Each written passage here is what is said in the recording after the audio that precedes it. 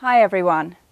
We are pleased to announce the launching of the audiobook Projections of the Consciousness, a compilation of 60 lucid out-of-body experiences experienced by Dr. Waldo Vieira, who proposed the neosciences conscientiology and projectiology.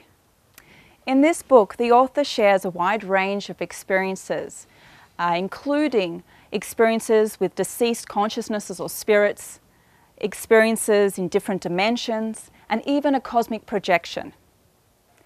This is the first time that an audiobook will be available in English, giving a greater number of people access to this classic book. We hope that this will be the first of many others to come. We would also like to invite you to visit CEAEC, or the Centre for Higher Studies of Conscientiology, and the other institutions located here, which are linked to evolutionary development. At CEAEC, you have the opportunity to study and deepen your self-knowledge, as well as to deepen your potential for achieving integral awareness, uh, enabling you to interact in several dimensions. It is important to emphasize that we do not use any types of drugs in our research, nor do we depend on any gurus. Rather, you will study uh, your own evolutionary level and you will find out more about yourself. Within this institution, there are a number of facilities which will help to further your evolutionary development, including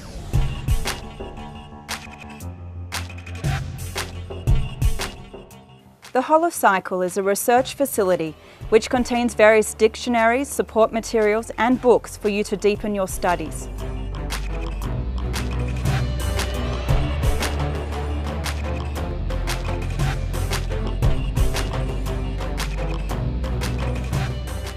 Attached to the holocycle is an extensive library with a large collection of books and several exhibitions of knowledge artifacts.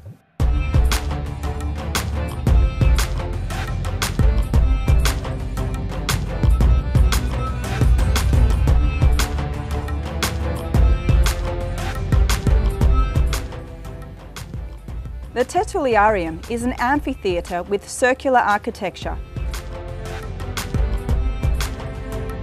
where entries for the Encyclopedia of Conscientiology are presented daily and are transmitted live on YouTube.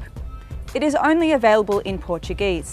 However, you can find a selection of translated entries in English on the Tertuliarium YouTube channel.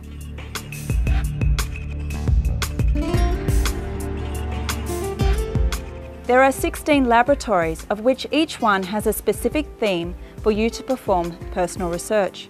In these spaces, you can get in touch with the extra-physical team of helpers to help you experience the various topics studied here, such as perceiving and measuring your bioenergetic signals, deepening your research about past lives, or studying and practicing a very strong energetic state, the vibrational state. Regarding the accommodation at CEAEC, there is the Village Hotel with comfortable rooms, a restaurant and cafeteria.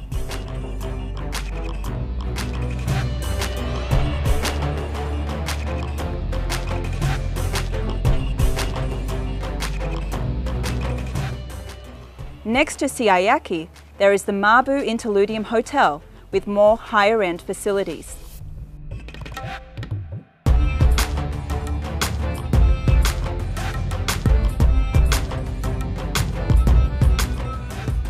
The CEAEC Research Centre is located in the city of Iguazu Falls, which contains the immense Iguazu waterfalls, one of the seven wonders of nature, and which will provide you with an unforgettable experience. And if you happen to be coming to Iguazu Falls, come visit us. You are very welcome here.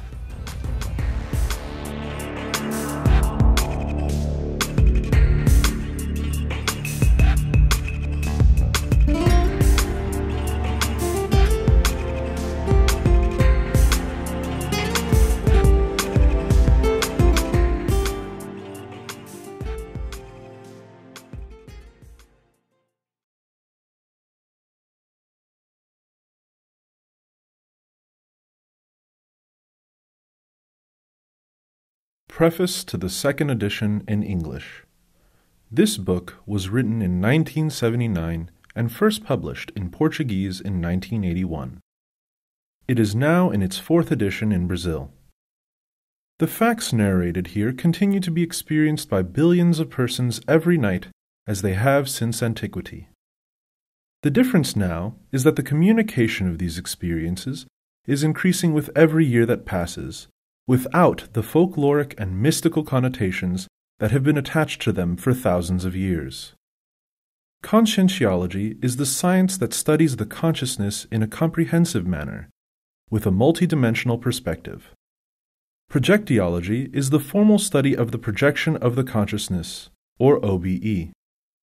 The International Bibliography of Projectiology contained 1,907 items in 1986.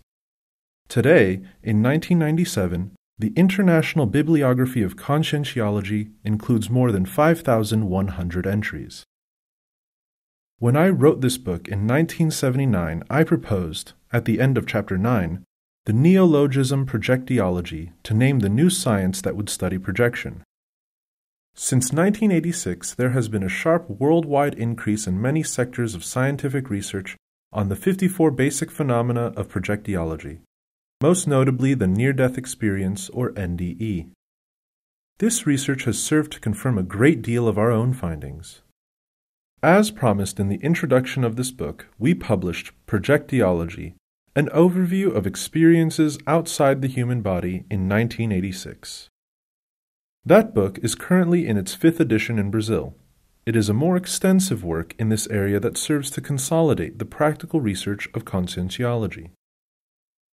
When faced with the challenge of presenting timeless ideas and experiences in a contemporary manner, it is inevitable that a new nomenclature or vocabulary is generated. Projection is no exception. As such, the reader will find that new terms have been created in order to communicate the numerous aspects of projection as objectively and descriptively as possible. It is suggested that the reader become familiar with the glossary so that, with time, the vocabulary will become easier to understand and use. We have avoided using spirit, entity, reincarnation, and other terms that we consider to be outworn or to have religious or mystical connotations. For example, the consciousness, when used in the context of projectiology and conscientiology, does not imply a state of awareness or lucidity, but, rather, refers to the actual soul, spirit, ego, or intelligent principle. A great number of facts and phenomena detailed in the following pages have been confirmed, amplified, and clarified by occurrences during the past decade. In the period since 1981, we founded the Center of Continuous Consciousness, now deactivated. In 1988, the International Institute of Projectiology and Conscientiology, or IIPC, was founded. IIPC continues to sponsor several conferences, forums, and symposiums and has confirmed the discovery of new cultural and scientific facts every year since its inception.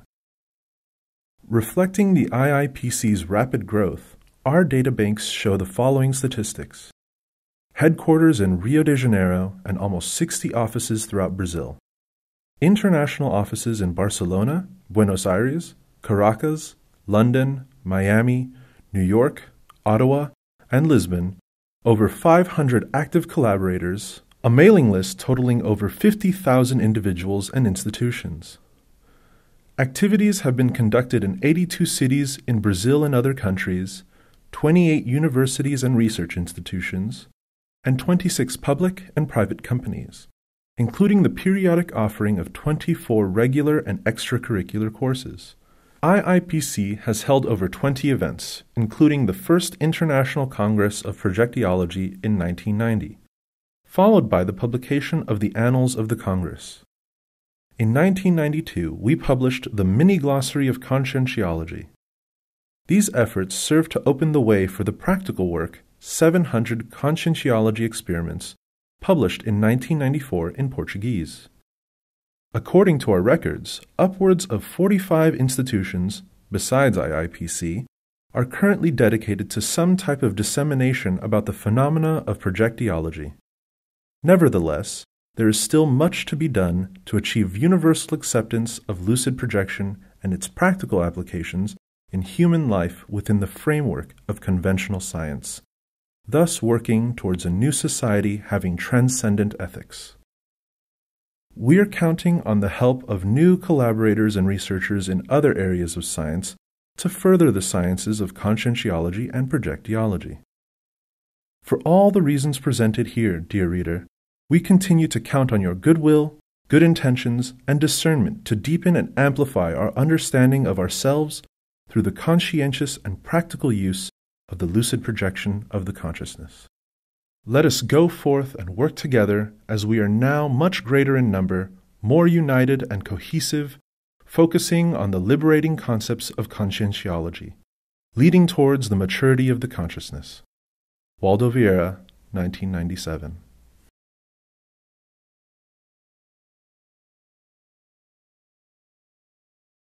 Introduction In deciding on the direction of this book, I was faced with three options. First, to write only about that which conforms to accepted norms of current science, thus staying within the confines of my medical training, and suppressing certain information regarding extraphysical reality, as many authors have done in works which are currently in circulation.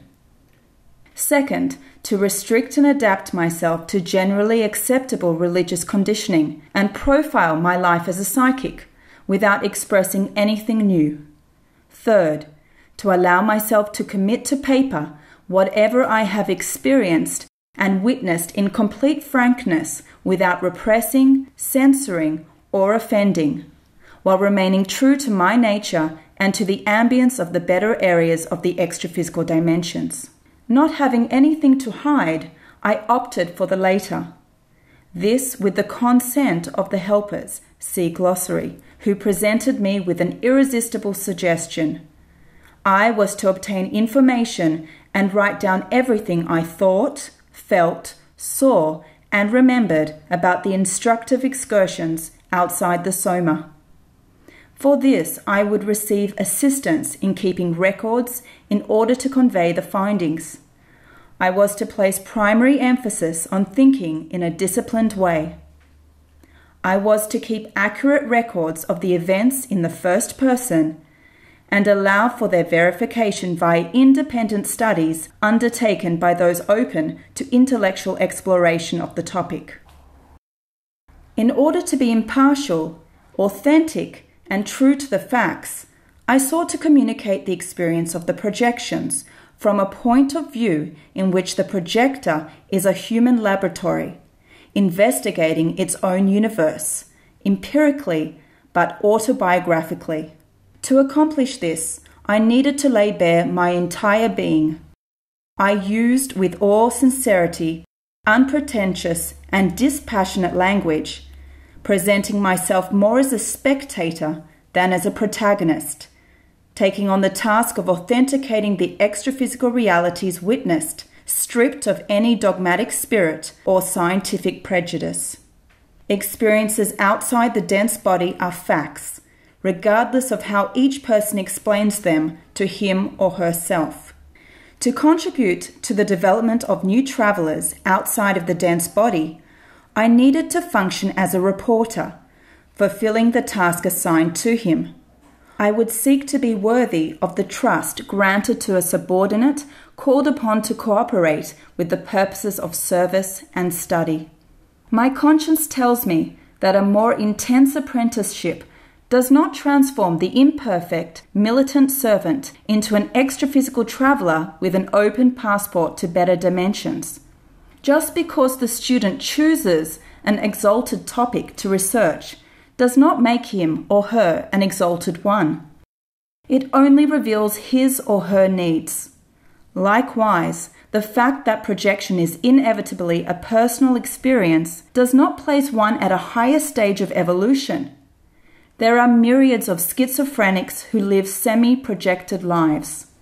Since I find myself with countless difficulties and personal shortcomings, it seemed recommendable that I do my best to settle old commitments with dignity, fulfilling my duties within the cosmoethic, extraphysical universal principles. Hence, this volume. Projection allows one to replace belief with knowledge. To believe in the accounts is secondary. What is important is to accept the possibility of extraphysical events. Ideally, the interested person will have his or her own experiences through training with four bodies the soma, physical body, holochakra, psychosoma, extraphysical body, emotional body, astral body, and the mental soma, intellectual body. For this, it is necessary to discipline the memory and, above all, to sharpen one's mental concentration with a lot of willful determination, self analysis, and perseverance by following techniques similar to those used here. After that, prepare yourself for deep renovation in all sectors of existence. Separations from the body are experienced every day by men and women during natural sleep.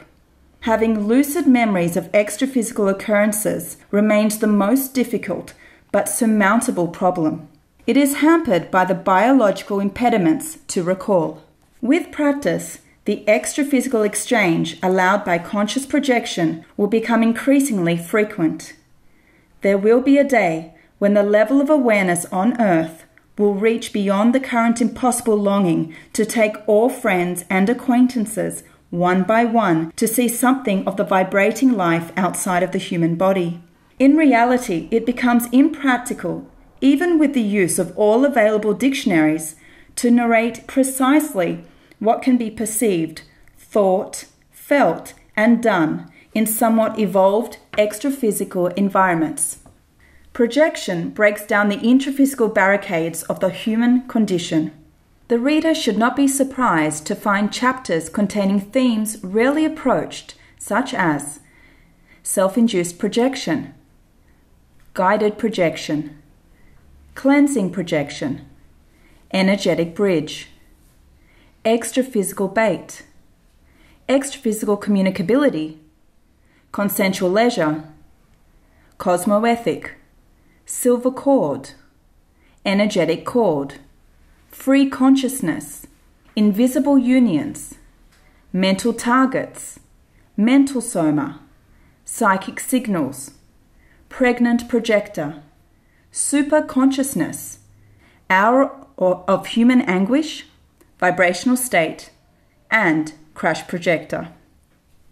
New and original subjects will also be encountered, such as self embrace, self telekinesis, conscientiology, empty brain, extraphysical shocks, extraphysical Trendelenburg, hydromagnetic shower, in block recollection, inverse landing, psychophonic monologue, projectiology, quintessential chord, partial projection, simulated existential series, transmental dialogue, vibratory valve, and others.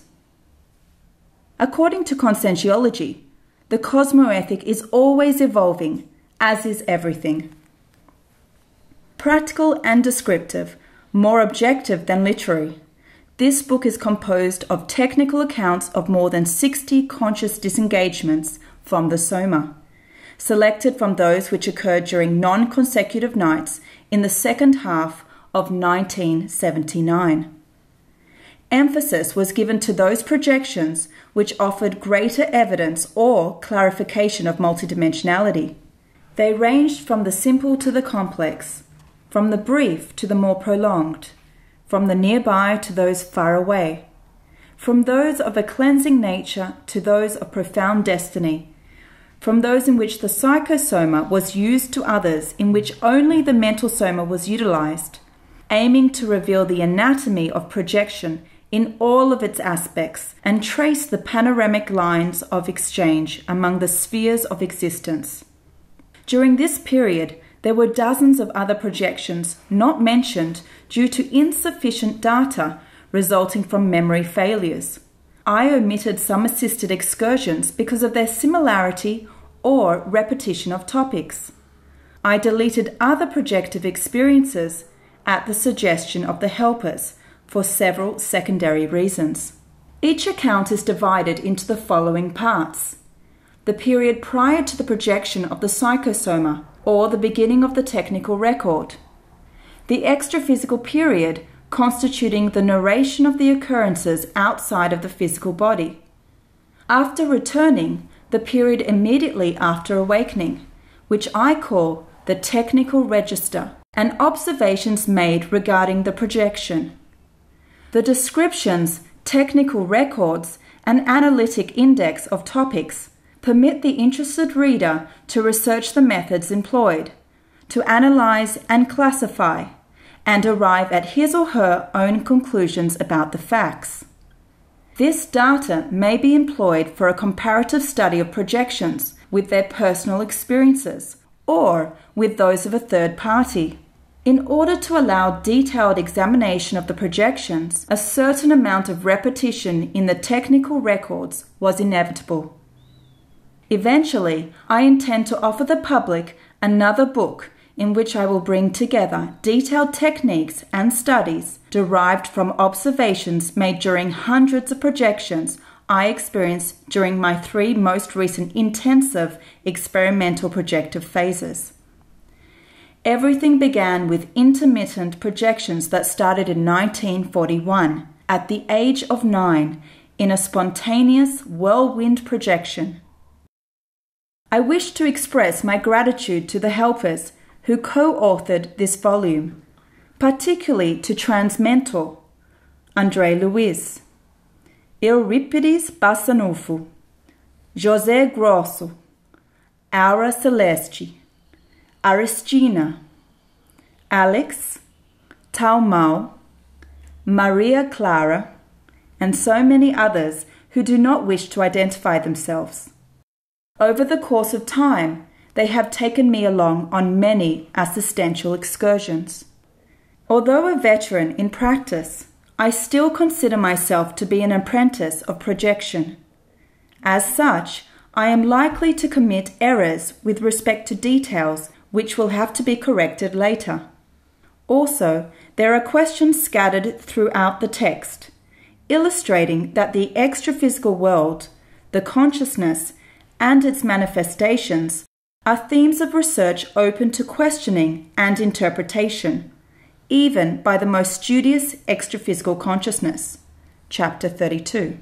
If I may express a small wish, it is that I am able to peruse these candid notes during my next intraphysical, physical life. In the hope that this sincere message proves to be useful for those who research the projection of the psychosoma and mental soma their relationships and consequences, I present this work, having exercised great care to ensure its accuracy. And with the best of intentions, I dedicate this message to youths who are now becoming adults.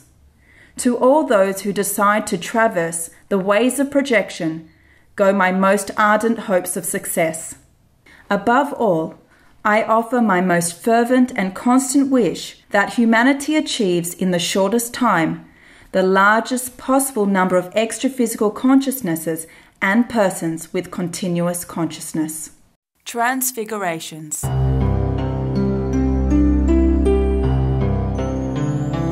Prior to projection. Friday, July 13th, 1979.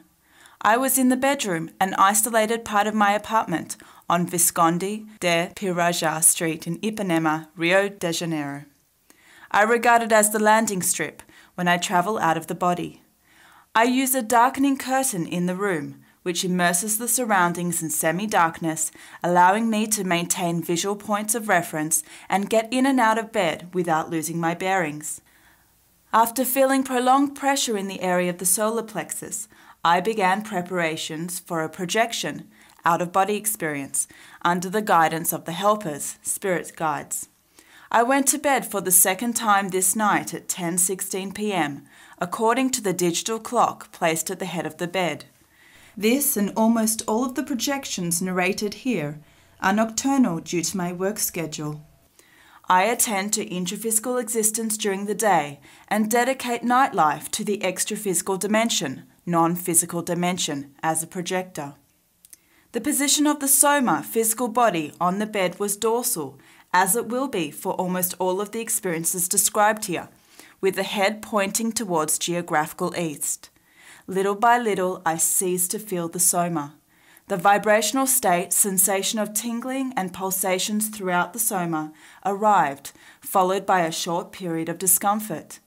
Removing all other ideas, I continued concentrating on saturating the mind with a single thought a strong desire to leave and float over the soma lying on the bed. The takeoff of the psychosoma, astral body, occurred. Extraphysical period. My intense desire to project from the soma had met with success. I was vividly aware of being in a semi lit place, but it was night time.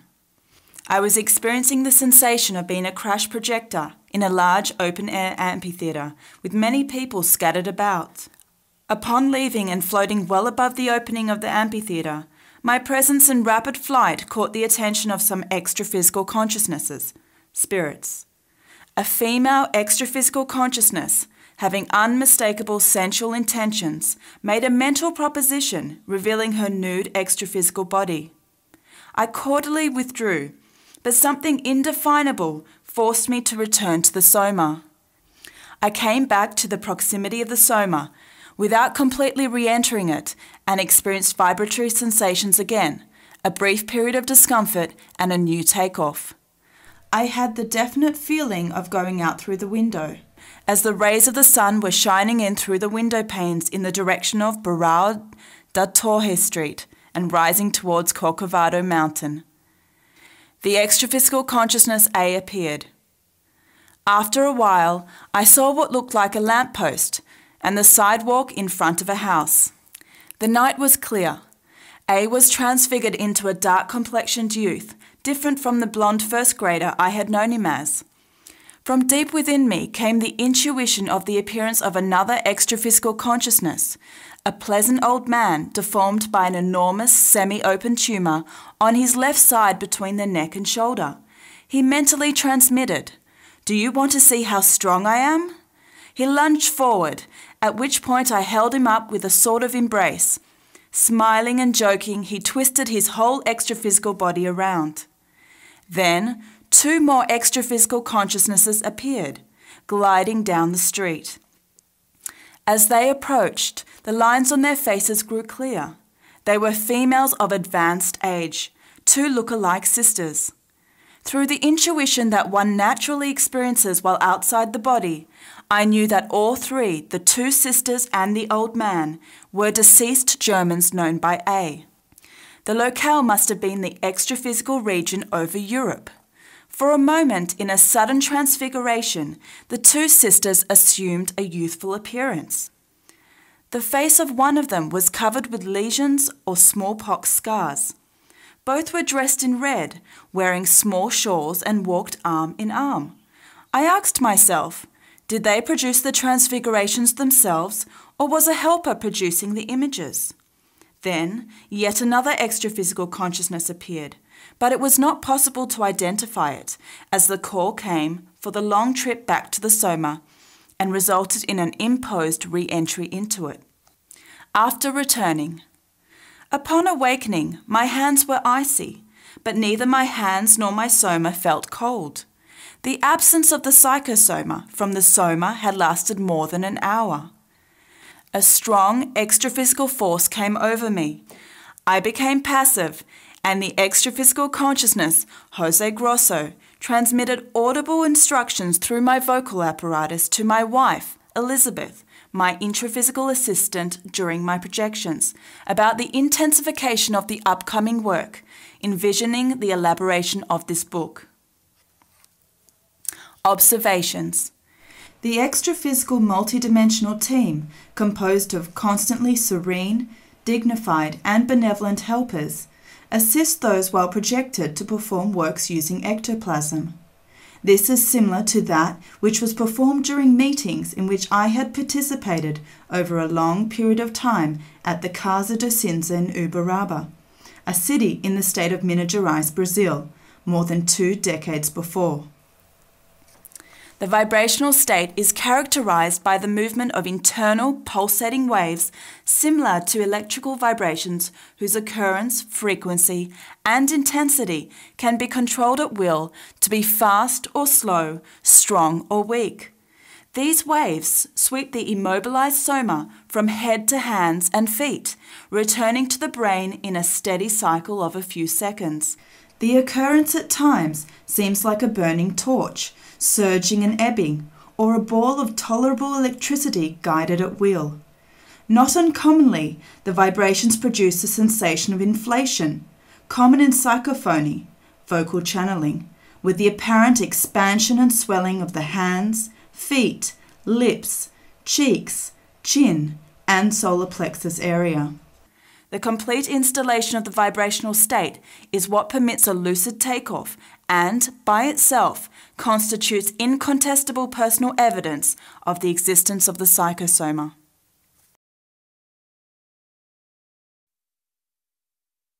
Chapter 2 Morphothosenes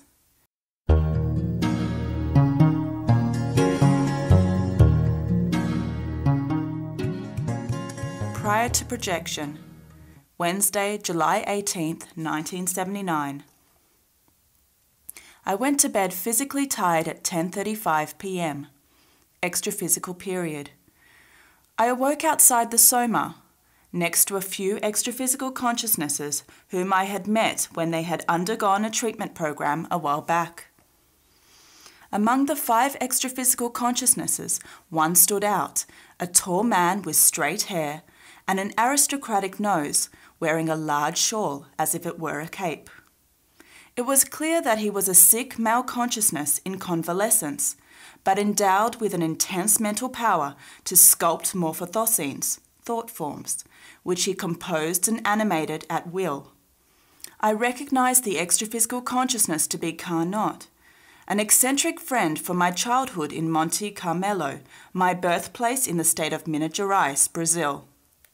He was there recuperating from a prolonged psychopathology by exercising the beneficial use of morphothosenes, providing entertainment for extraphysical consciousnesses needing distraction in order to help them recover. This was leisure activity functioning in favor of evolution of the consciousness. It was said that Carnot was a person who had gone insane due to excessive study. His eccentricities and appearance had changed a great deal.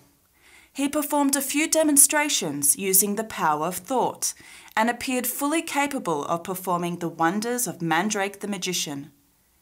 Since energy can be influenced by thought, it can be used to produce instantaneous wonders for one who is capable of controlling it.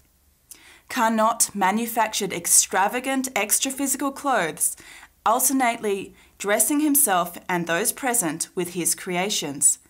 He formed incredibly tiny objects with lightning speed.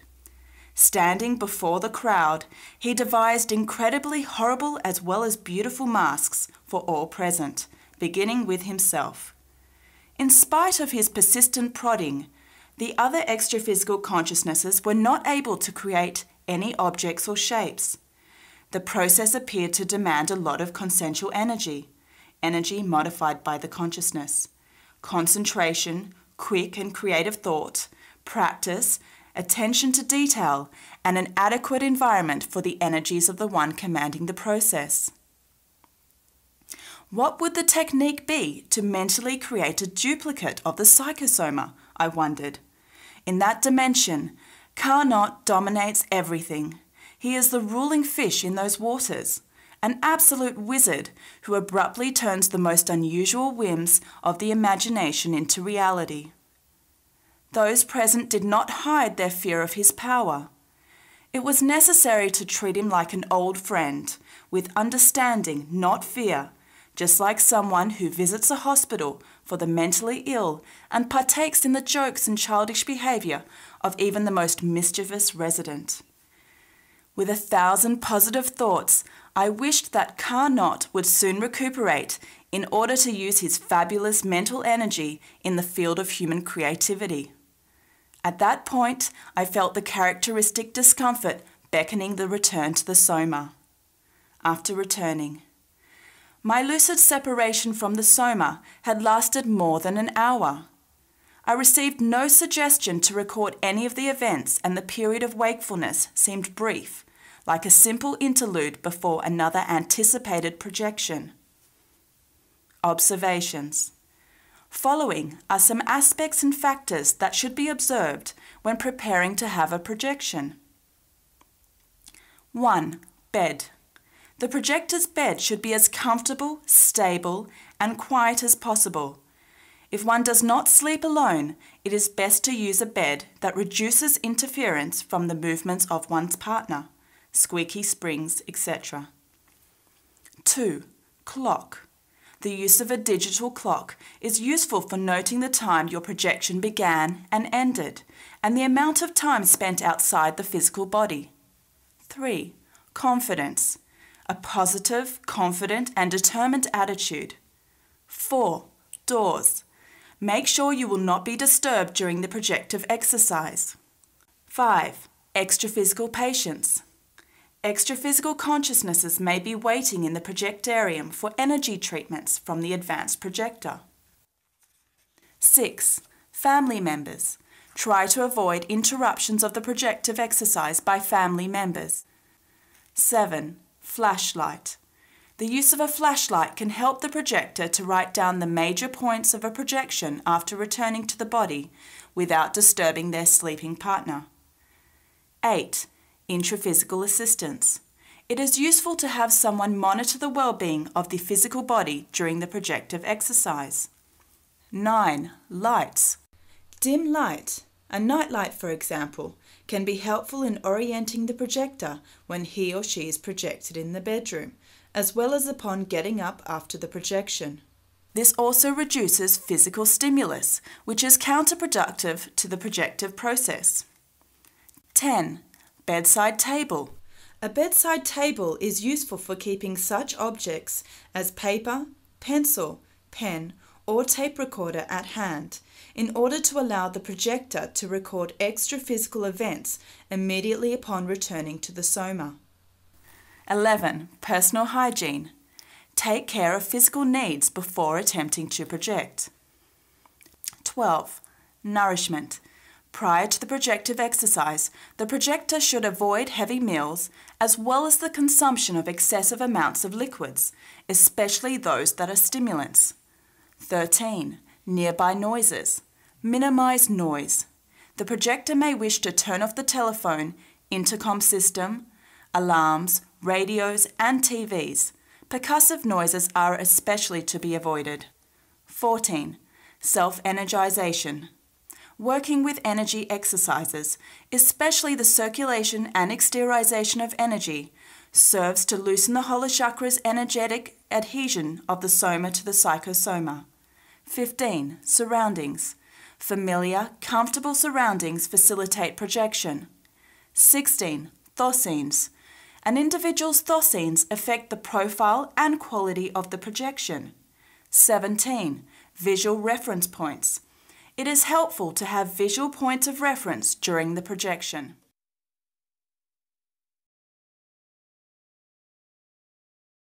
Chapter 3 A Unique Educational Institution.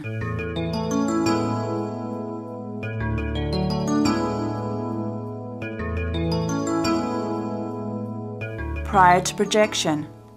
Thursday, July 19, 1979. 1 o'clock in the morning second sleep of the night. Continuation of the previous projection related in Chapter 2. Extraphysical period. I became lucid upon entering into some sort of construction with a high roof and arched doors. It was an enormous educational institution. Upon going through one of the large doors, a shining extraphysical consciousness approached me, and, while staring at me, emitted this thought so, do you recognize me? I looked at the young face of apparently 13 years with big eyes and black skin, radiating contagious happiness. I instantly recognized him. It was Tancredo, a very sick boy whom I had treated until his inevitable biological, intraphysical, death a long time ago at my clinic in the city of Uberaba, Brazil. He was one of many whom I had seen and no longer remembered. The impact of the surprise brought me uncontrollable emotion. Nothing was said. Communication occurred through pure thought transmission. The profound satisfaction of seeing Tancredo again moved me to embrace him as I addressed the thought to him. Look, I'm conscious. After returning to the Soma, I can remember these occurrences. Isn't it marvelous? The flow of his thoughts returned firmly. Yes, it's marvelous. But take advantage of it in order to take ideas back to your physical world. Don't miss the opportunity. Mentally, I quickly asked, Take what? Do you have any lessons to offer me? Yes. Analyze how electronic equipment functions. It radiates waves that not only interfere with the minds of children, but also with the process of projection by affecting the vibrations in the structure of the psychosoma. Think about the effects of this radiation and their consequences. He had not pronounced anything with his mouth, nor had I heard words with my ears. Sometimes in the extraphysical dimension, the words one hears or the thoughts one captures appears as if they were echoes. It seems that we know the extraphysical consciousness's thoughts before they are expressed. As a general rule, the projector hears the thought of the extraphysical consciousness in the extraphysical dimension like he hears the voice of a person while in the waking state. He revealed that the institution that sheltered him belongs to the Ascensão extraphysical colony situated on the outskirts of the city of Patrocínio in the state of Minas Gerais, Brazil. There were extraphysical consciousnesses in conditions similar to Tancredo's who preferred to reduce their apparent age and behave like adolescents in order to better prepare for their upcoming intraphysical life. The candidate for physical rebirth transformed not only his or her appearance, but also the attitudes, interests, occupation, and lifestyle, and created a likeness of the conditions he or she would soon confront. The educational institution had hundreds of extra physical residents and welcomes visits from projected persons, utilizing their dense energies in order to give the environment even greater authenticity. With the assistance of other extraphysical consciousnesses, Tancredo had created an environment for himself having an ambience of installations similar to that in which he will live during his next intraphysical life.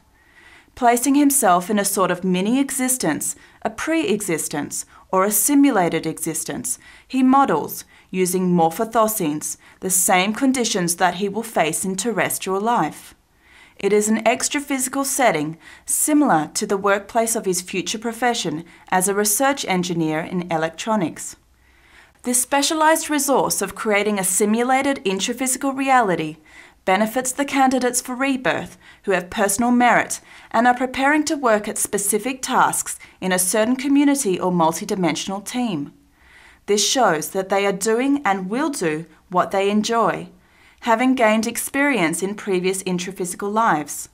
They thus try, as opportunity permits, to lay a foundation in order to enrich the memory bank of the next biological body.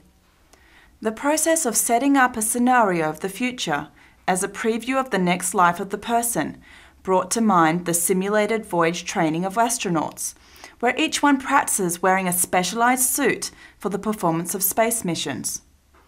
The higher the intraphysical evolutionary level one enjoys, the better the extraphysical conditions will have been prior to one's rebirth. On some advanced planets, the difference between the intraphysical and extraphysical dimensions can hardly be felt. This is not the case on Earth, where we still confront extremely diverse conditions, not only in terms of the organism, but in the environment in which it must survive. After a festive farewell, Tancredo left, emotionally touched by my lucid presence.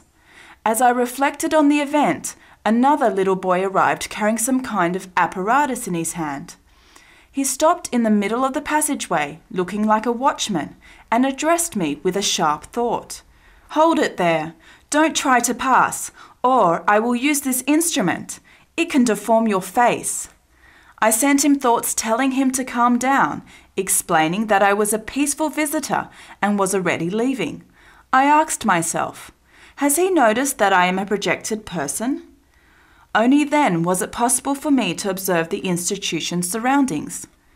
The place was an immense workshop, crammed with scrap iron, thousands of parts, sections of machines, workbenches, and hanging objects, all of which were more consistent morphothosenes.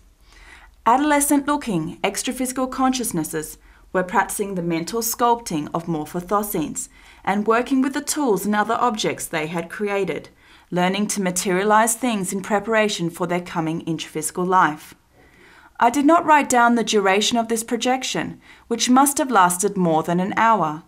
The emotional impact of seeing Tancredo again triggered my precipitated return to the Soma. Emotionalism generally reduces our rationality, robbing us of the ability to make serene, intelligent decisions.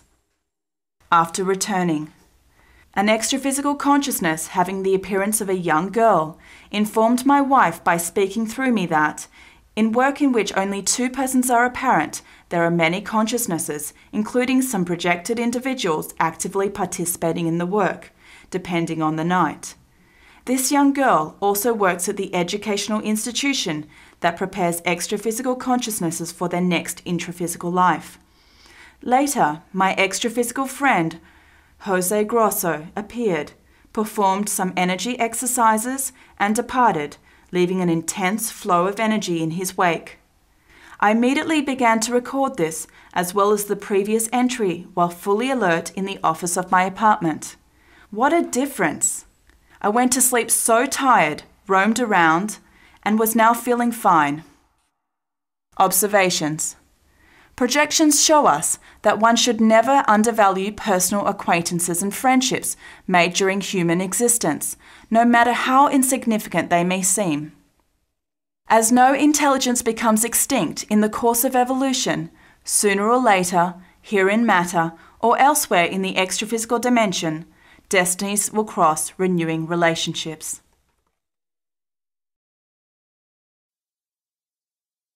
Chapter 4 The Open Window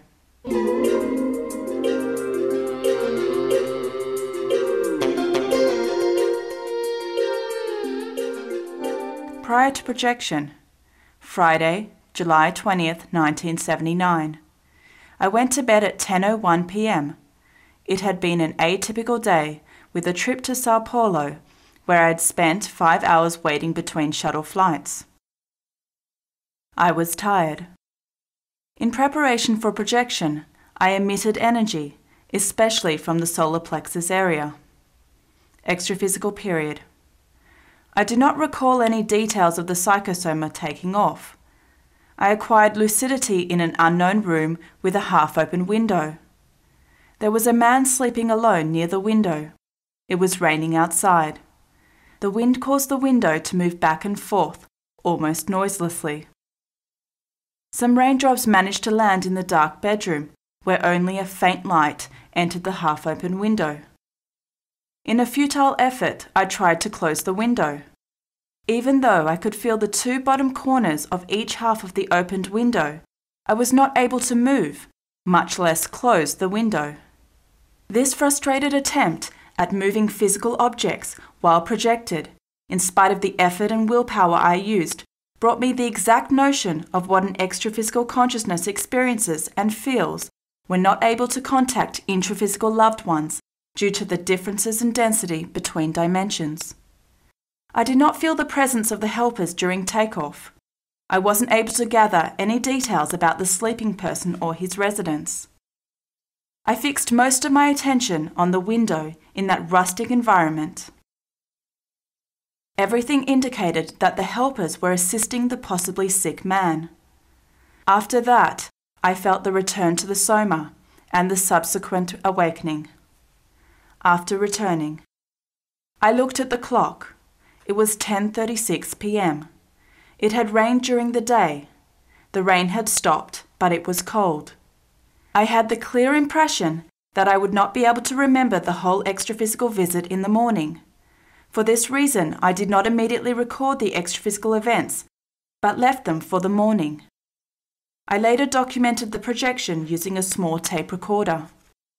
Observations With the window closing attempt, I confirmed once more the difficulty of overcoming the natural impossibilities of direct contact between extraphysical and intraphysical consciousnesses and influencing objects and people while projected.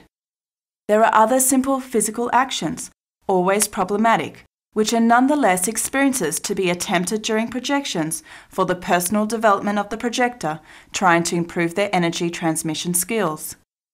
What is the method that works best when attempting to affect the physical environment using the psychosoma? Can we pinch a friend, tickle the ear or touch someone's face, ring a doorbell, unlock a door, put out a candle, turn on a light using a light switch, switch on the TV or the radio, open a closed book, flip a page of an open book, knock on a door, or tap on a tabletop, lift and carry a small object, turn on a water faucet, pull open the refrigerator door, pick up a piece of food. Which manifestation requires the least amount of energy? Turning on a flashlight with a pressure switch? The telekinetic phenomenon is the capacity to affect physical matter by causing static objects to move and even float in mid-air.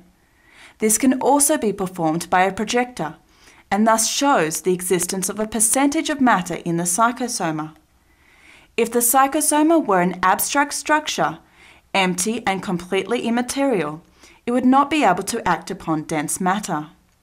The projector should attempt these actions when he feels the psychosoma to be in a denser state. This will facilitate contact with the object and the production of physical effects.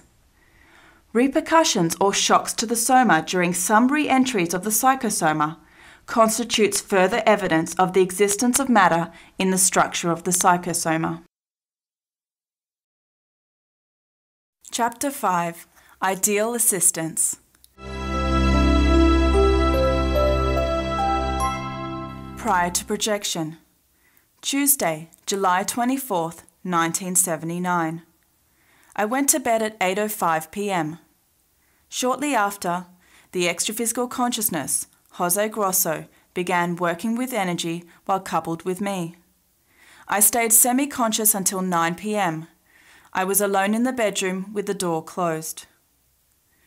The helper, Jose Grosso, radiated energy through me, having me sit on the bed several times. Then the team of extraphysical consciousnesses attended to someone in front and to the right of my soma. The psychosoma is a condenser of cosmic energies, psionics in parapsychology. Emission of denser energy is used to assist psychotic postmortems, earthbound spirits, see glossary, as well as to reduce the density of the psychosoma while projected. With time, one becomes accustomed to living with both the dense soma and the subtle psychosoma.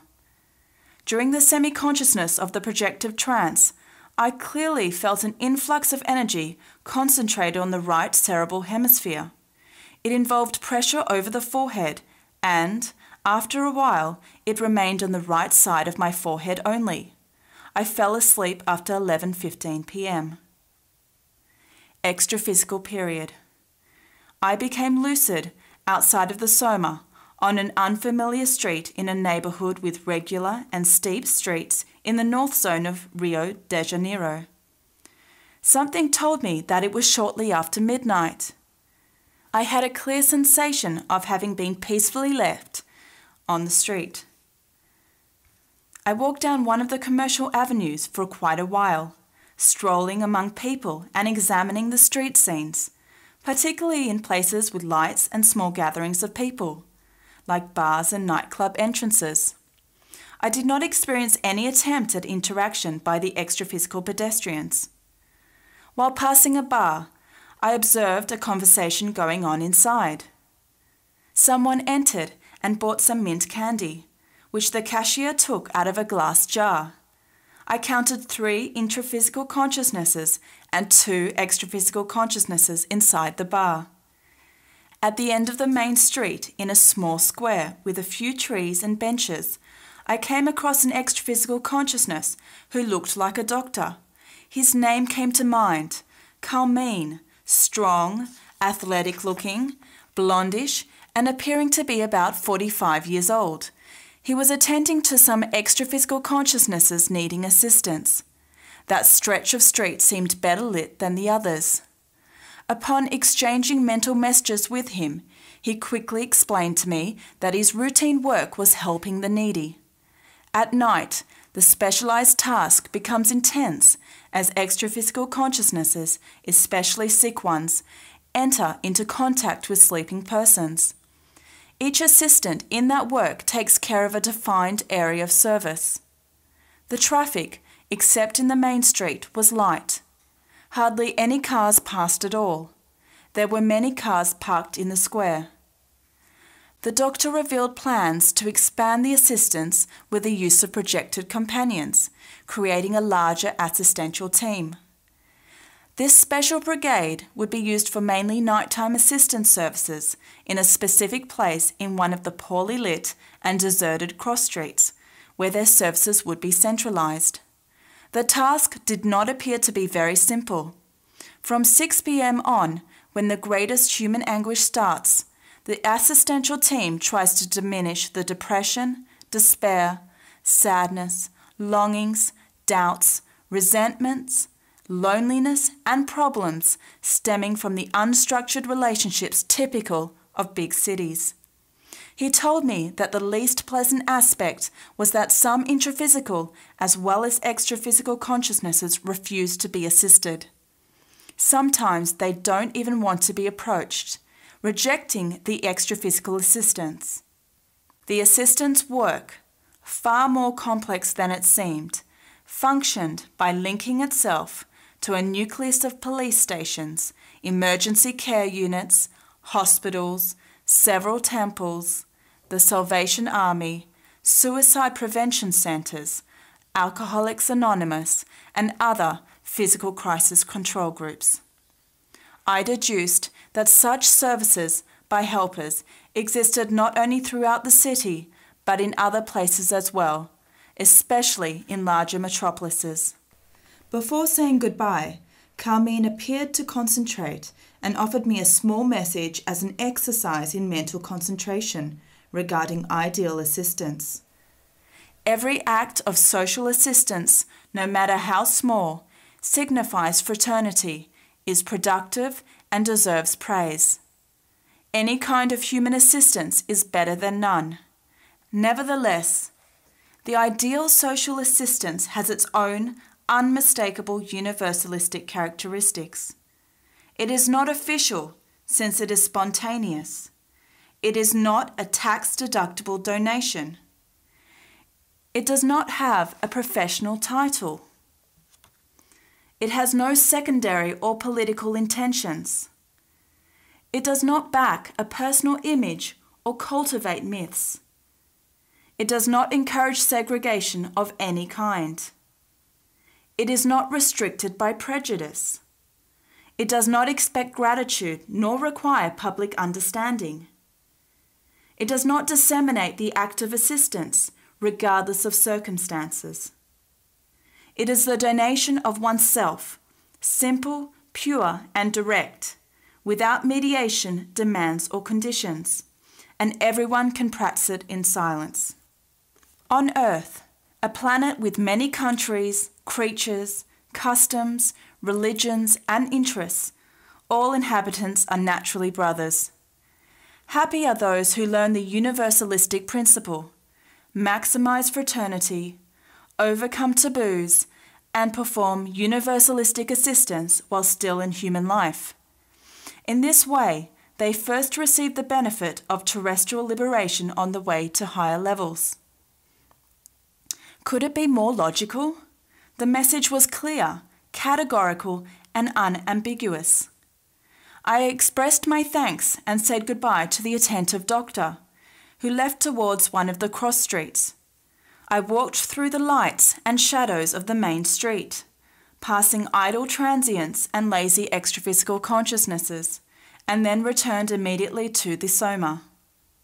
After returning, upon awakening at 1:43 a.m., the soma was in the same position as before, the dorsal position, motionless, with arms extended and hands spread out on the legs.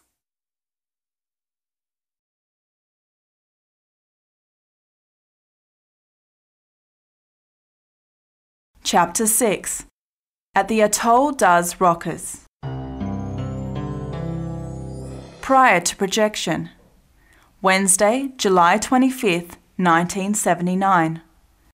After recording the events of the trip outside the Soma in Rio de Janeiro's North Zone, I went back to bed at 3:33 a.m., lying in the prone position with the left side of my face on the pillow.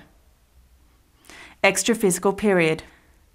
I gained awareness on an islet where a group of helpers were taking care of an extraphysical consciousness. He was sitting down and looked like a soldier with the intense stare characteristic of a psychotic postmortem.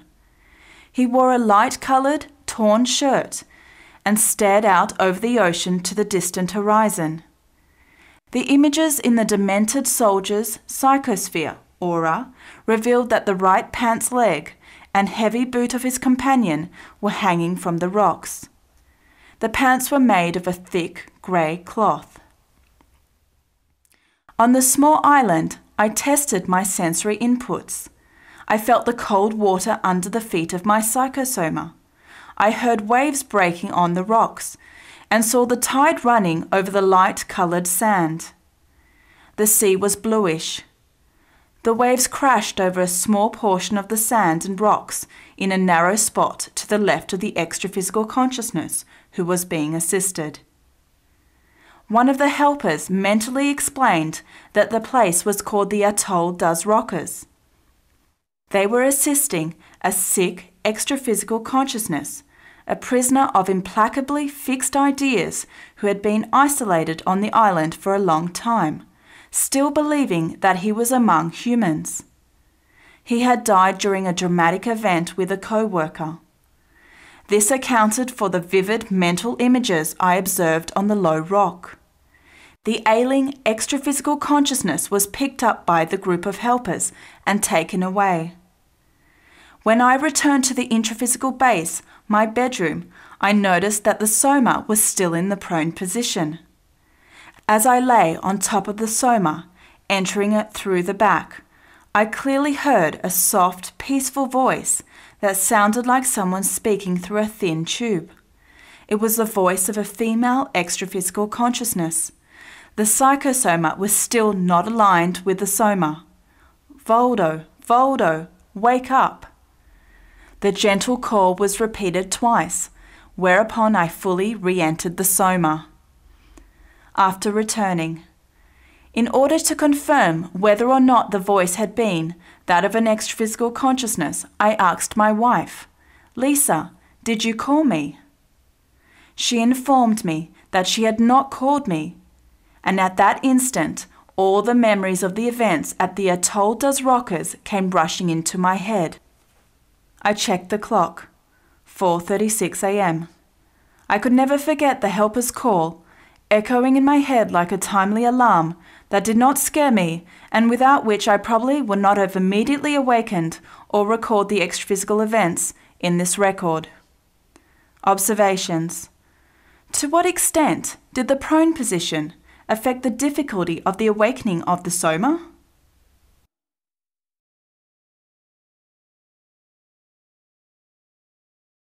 Chapter 7 Extraphysical Pantomimes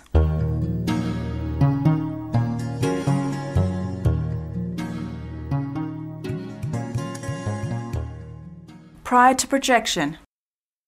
Wednesday, July 25th, 1979. I went to sleep for the second time tonight at 9:05 p.m. I was sleepy as I lay down on the left side. Extraphysical period. I became lucid in the extraphysical dimension and, soon after, I unmistakably identified the extraphysical surroundings. I was in Paris. After performing some extraphysical assistance, the group of helpers permitted me to leave in order to make some observations for the purpose of these records. I began the descent down a slightly inclined, tree lined boulevard next to some parked cars. As I glided down the sidewalk, I was thinking about having come to Paris in circumstances quite different from past trips. It was a journey far removed from what I was accustomed to, because I was travelling without the soma. I had not paid the compulsory travel tax in effect in Brazil, did not have to pay airfare, was not carrying a passport, did not have a fixed address in the city, and was not carrying any money. My thoughts attracted and inspired some extraphysical consciousnesses who were practicing the creation of morphothosenes and somehow could capture my thoughts there on the street. Were they extraphysical actors? The group of about eight extraphysical consciousnesses, some of them playful and apparently harmless, were playing with forms they created instantaneously. At that point, I realized that they were stopping anyone who was passing on the street to serve as protagonist in their pantomimes in that improvised arena. One of them grabbed me as if by the collar. Funny, I was dressed in shirt and coat, perhaps due to habits from prior trips, and emitted his thoughts with mannerisms typical of a French artist, emphatically proclaiming to the other observers Look, this one here does not have documents. He doesn't exist. He came from very far away.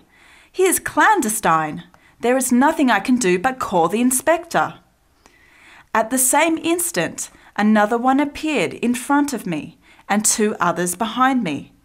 They were transformed into policemen, holding and pointing huge, extravagant machine guns, each one giving strict orders. They formed a circle around me and looked menacing. I knew I had nothing to fear and that it would be better to play along, participating in the farce, while these strangers exhibited their capacity to create morphothosenes as a kind of extraphysical pastime. I was trying to keep in mind the facts that pertain to me as a character. A fifth, extraphysical consciousness, dressed himself as a higher ranked policeman, came towards the others and stated, Hold it there! I am the inspector. I am in possession of this citizen's documents and have come on his behalf. Free him. From inside his huge coat, he started pulling out, one by one, an extensive collection of documents of all types, shapes, and forms, constituting an enormous pile. As he continued to take documents out of his coat, more would appear from the seemingly bottomless pocket. The spectators were delighted by the scene, although some wore expressions of fear and astonishment, not understanding the significance of the events and perhaps hoping not to become victims of jokes that could be played on them as well. These adults acted like adolescent students, playing practical jokes on each other. To what extent could these extraphysical consciousnesses be classified as pranksters?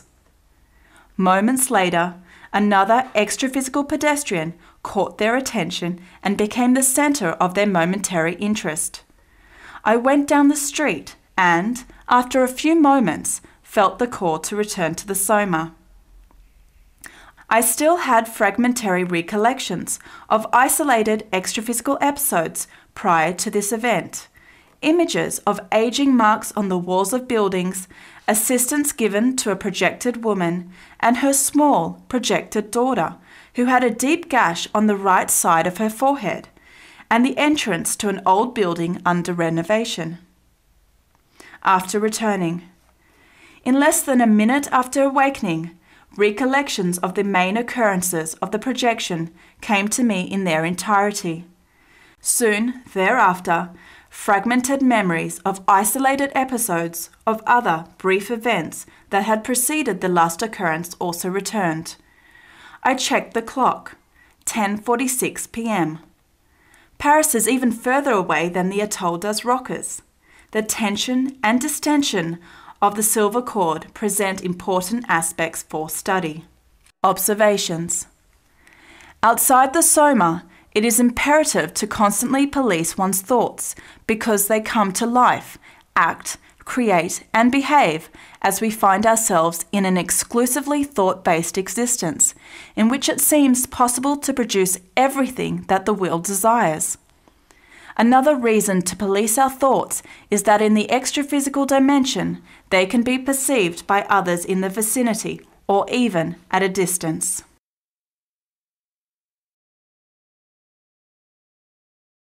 Chapter 8 Unexpected Encounter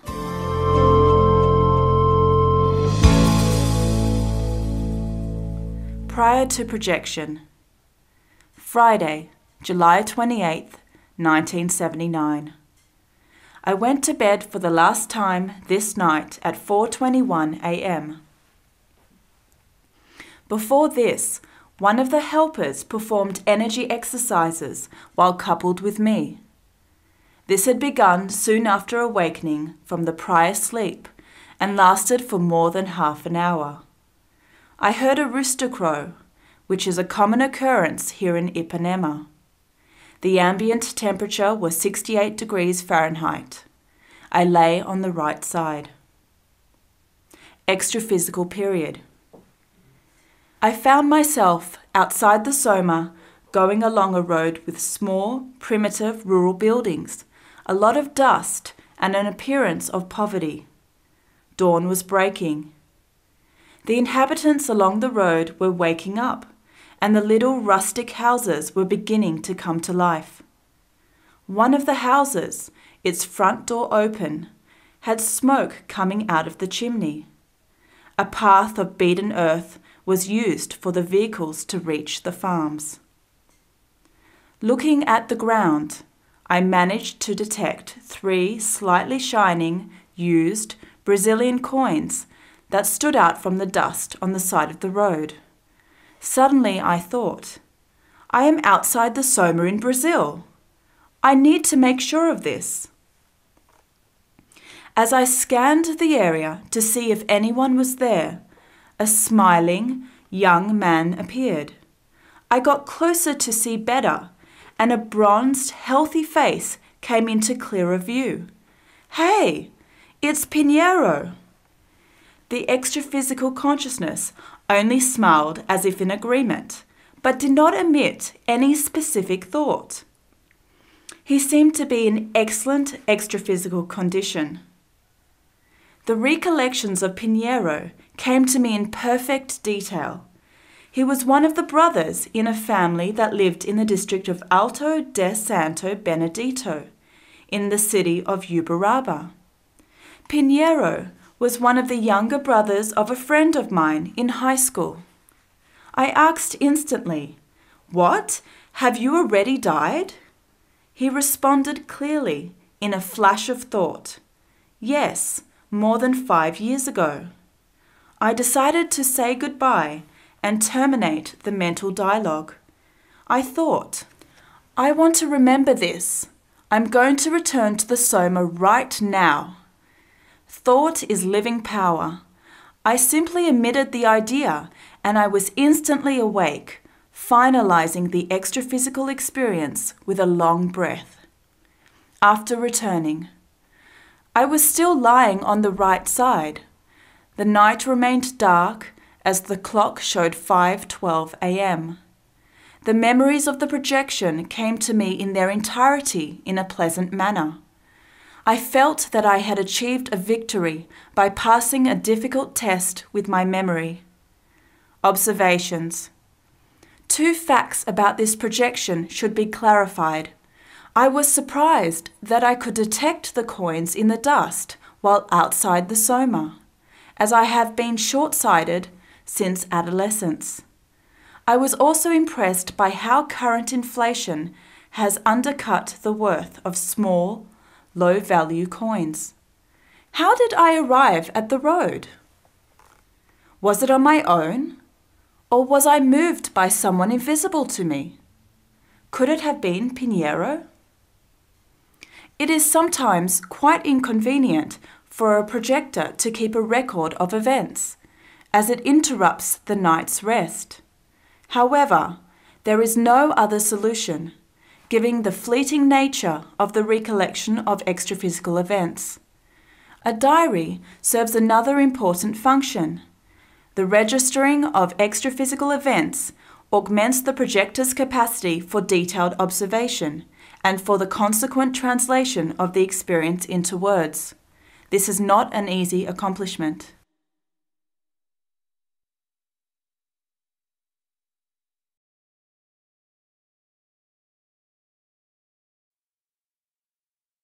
Chapter 9 Transmental Debates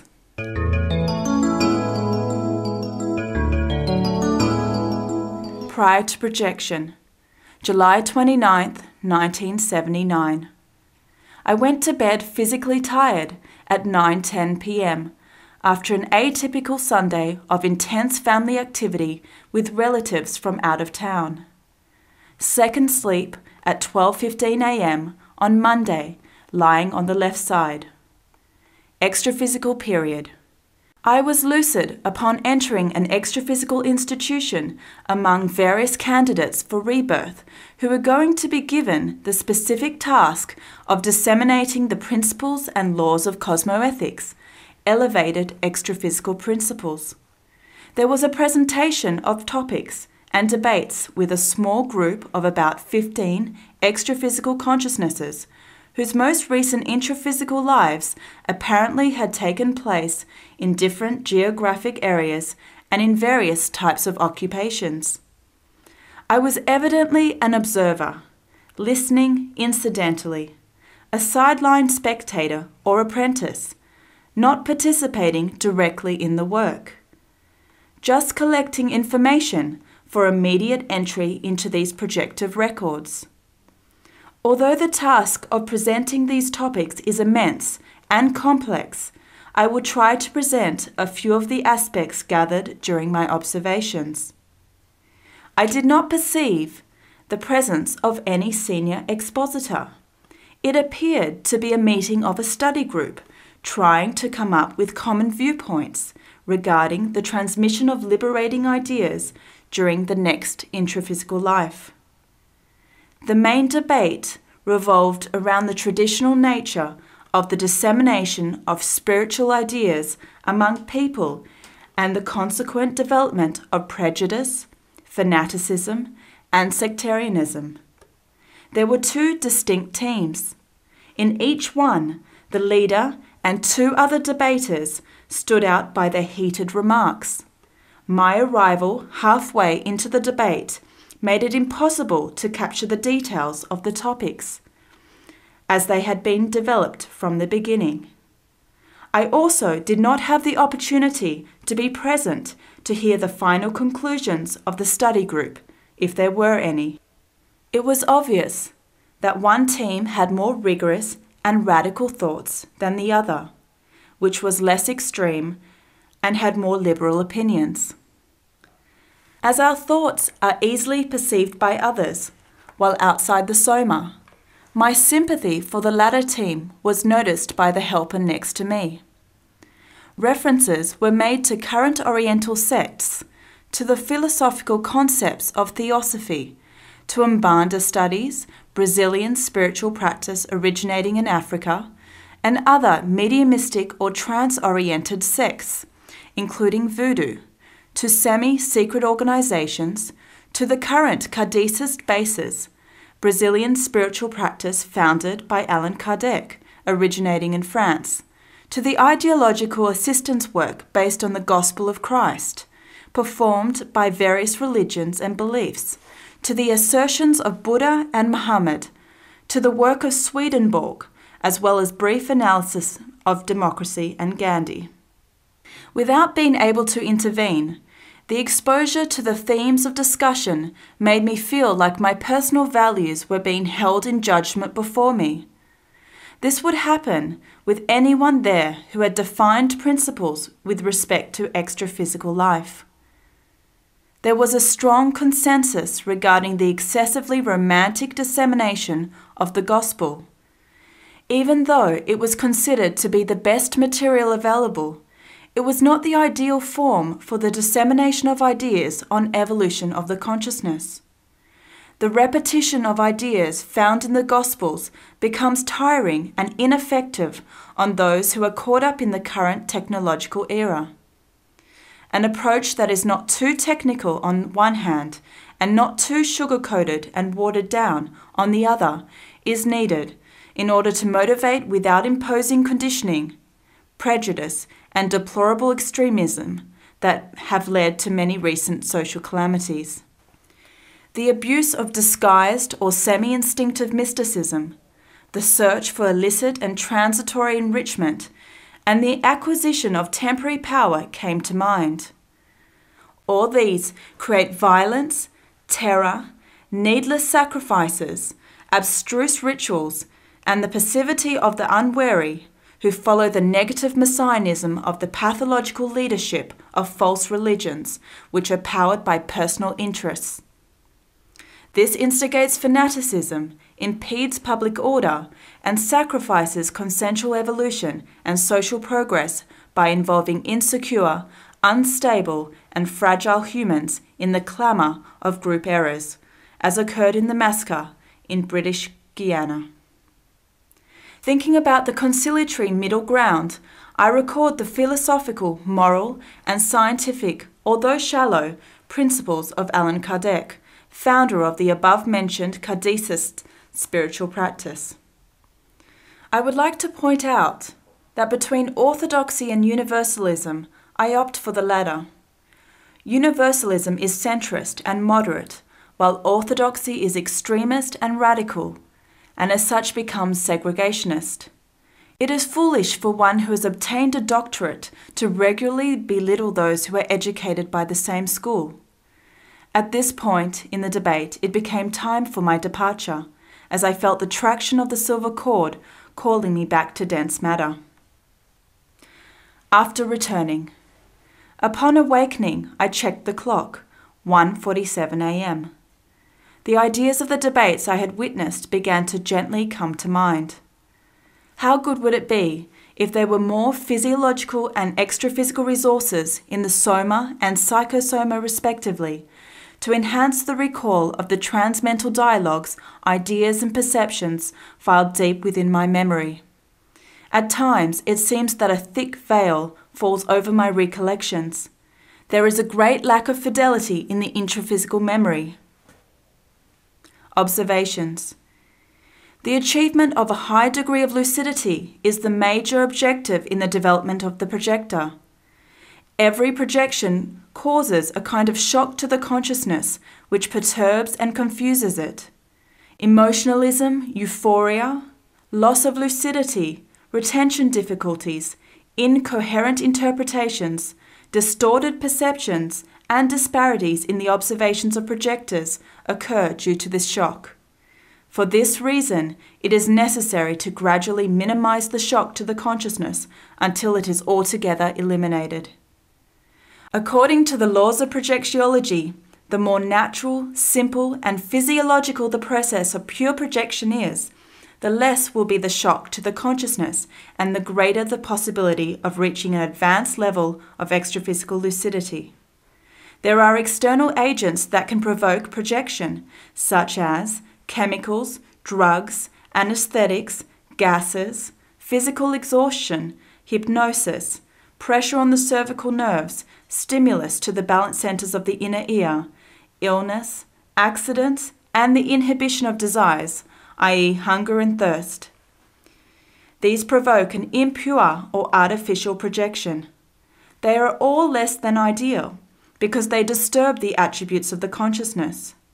They do not serve as routine, trustworthy systems with which one can acquire advanced extraphysical knowledge and perform high quality experiments.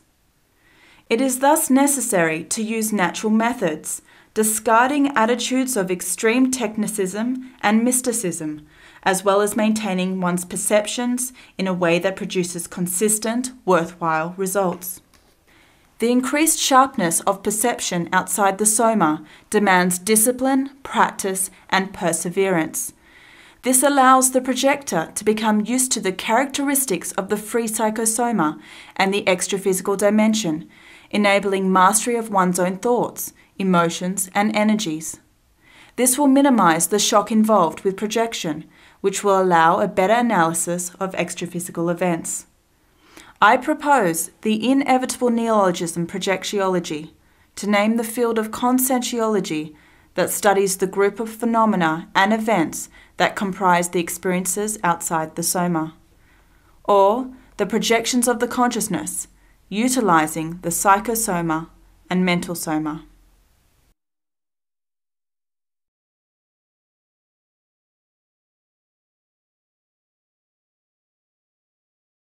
Chapter 10 In the Presence of Ephemeral Forms.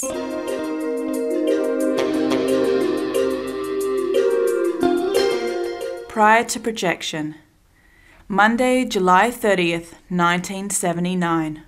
Third sleep at 3 a.m. After registering the debates on the extraphysical themes from the previous chapter. Extraphysical period. I was fully lucid in an extraphysical institution where the helpers projected a live scene of myself at a younger age, my mother Aristina, now in extraphysical consciousness, and my son Arthur prior to his current intraphysical life.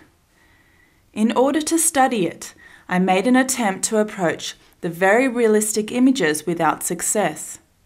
The ephemeral forms dispersed, just like vaporous plastic, gauze, tissue, or foam rubber. Arthur was a little boy in the image. He smiled when I asked him something that I cannot now recall perhaps due to the emotion of the unexpected, unprecedented event.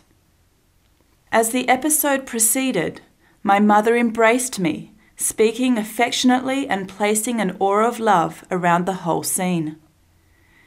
It was curious that I found myself with black hair, wearing dark glasses, and extraphysical clothes, all of which were morphothosenes. It was also interesting to notice that this visual projection was not my creation, being composed of the morphothosenes of others. Had these images come from my mother? As I was thinking about it, I received an unmistakable mental confirmation that they had. The scene was from one of my projections. It had been the first extra physical meeting with my mother since her death an event I had not previously recalled. Before being reborn, Arthur spent some time at the same extraphysical educational institution as Tancredo, the friend referred to in Chapter 3 of this book. The institution is in Ascensal, located in a rural area of the city of Patrocinio, near the place where my mother passed away.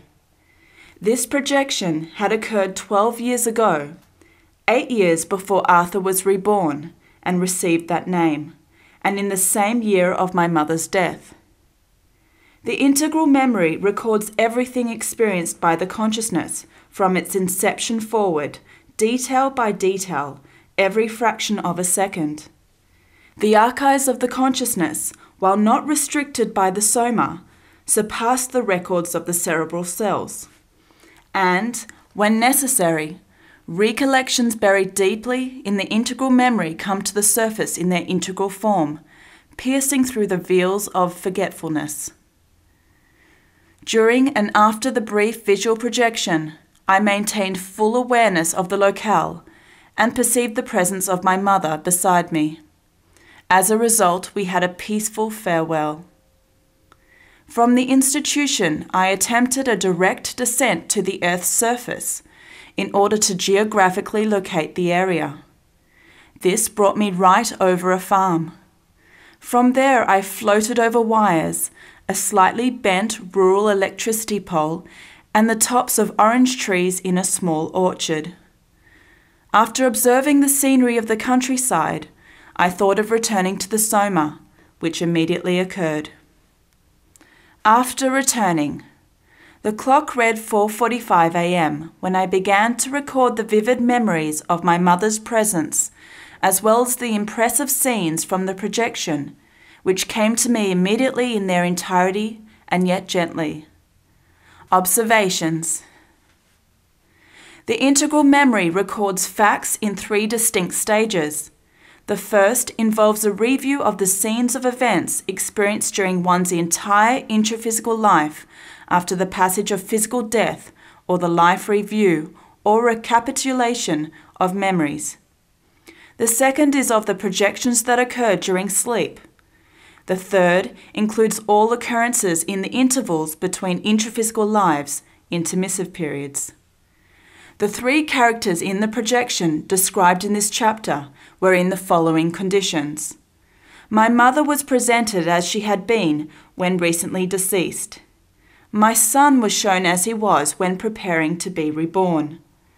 And the image of myself was taken from a projection that I had not remembered in 1967. In other words, the visual projection illustrated three distinct points. Everything that happens to the individual is forever recorded in the integral memory of the consciousness.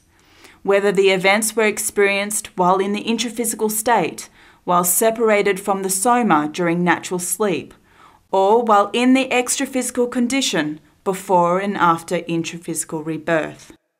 The integral memory can be consulted in whole or in part. Events that have occurred during any of the three conditions of the consciousness at any time can be shown in incredibly real form, whether in a fragmented or in block, intact fashion.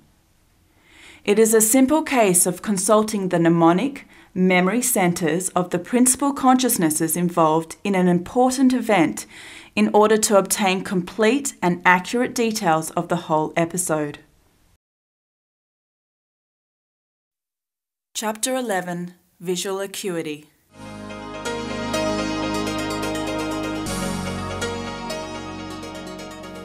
Prior to projection Thursday, August 2nd, 1979. Intense preliminary exercises were initiated at 8:29 p.m. while standing up and then while sitting in bed. Upon lying down, I briefly lost lucidity. Then I had a sharp internal mental vision of the extraphysical consciousness, Jose Grosso. I went to sleep at 9:21 p.m., quite relaxed, lying on the left side. Extraphysical period. I became lucid in the final stage of the psychosoma's takeoff. I exited upwards and to the right. I was certain that I was fully aware outside the soma. The extraphysical environment was very dark, and this fact caught my attention. As I thought of dark surroundings, I began to see a bluish light. The change came not from the environment, but from the psychosoma. The artificial light that was emanating from isolated windows in houses and apartments on various floors of the surrounding buildings was stronger and clearer than the light that seemed to have appeared before me over the entire urban landscape as a result of my expanded visual perception.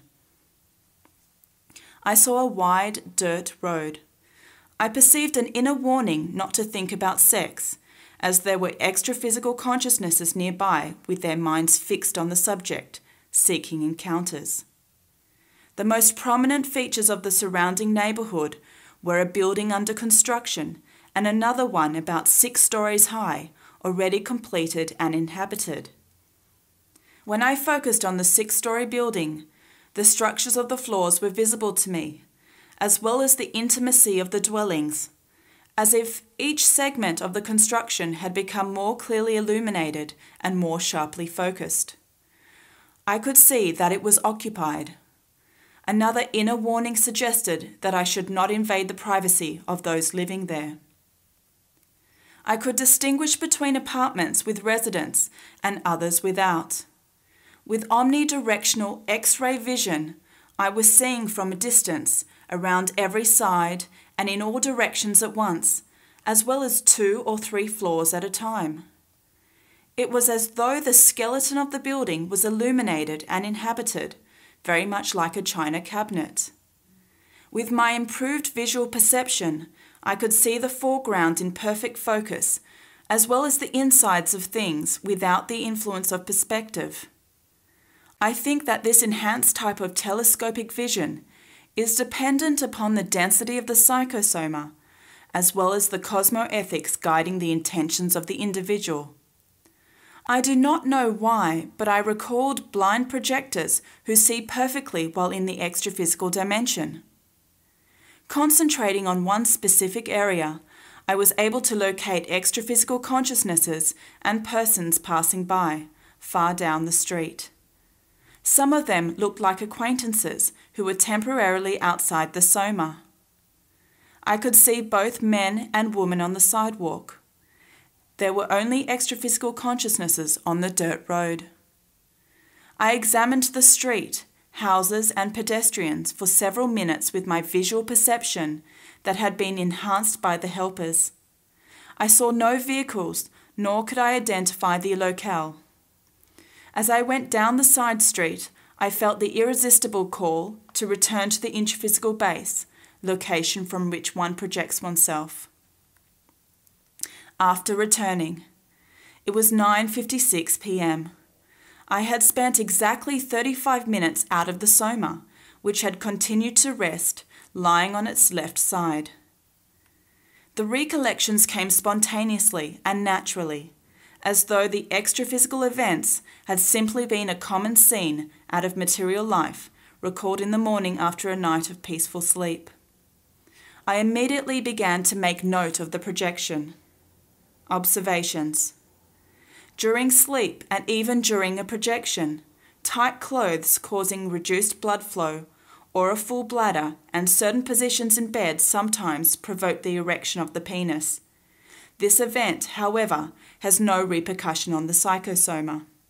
In other words, penile erection does not occur, in this case, in the extraphysical form.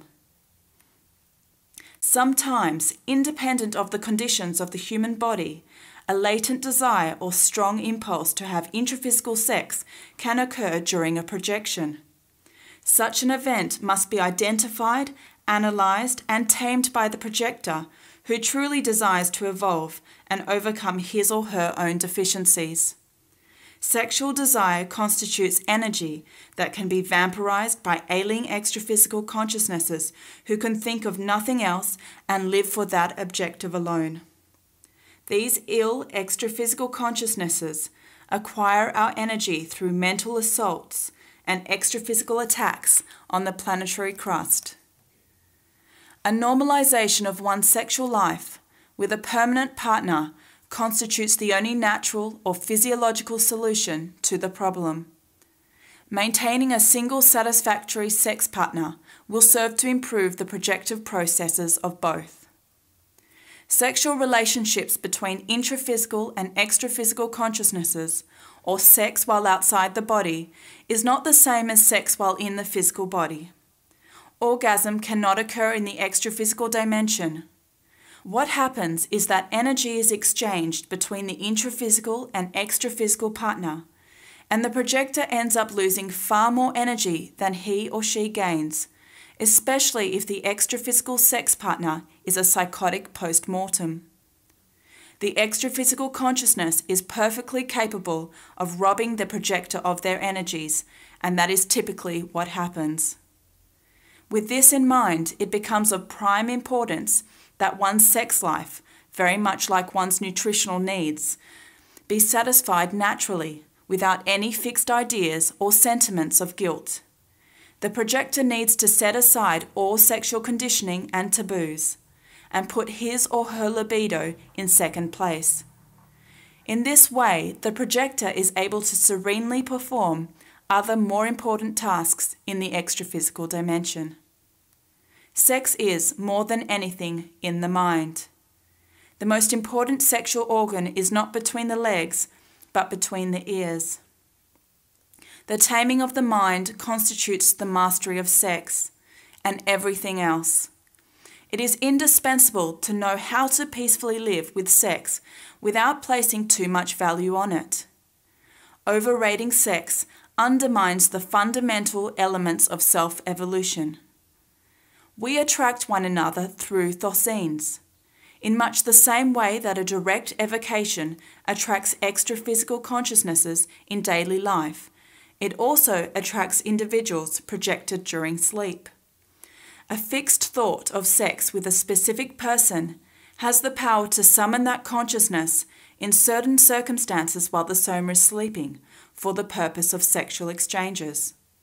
This often causes dreams and recollections of the extraphysical events.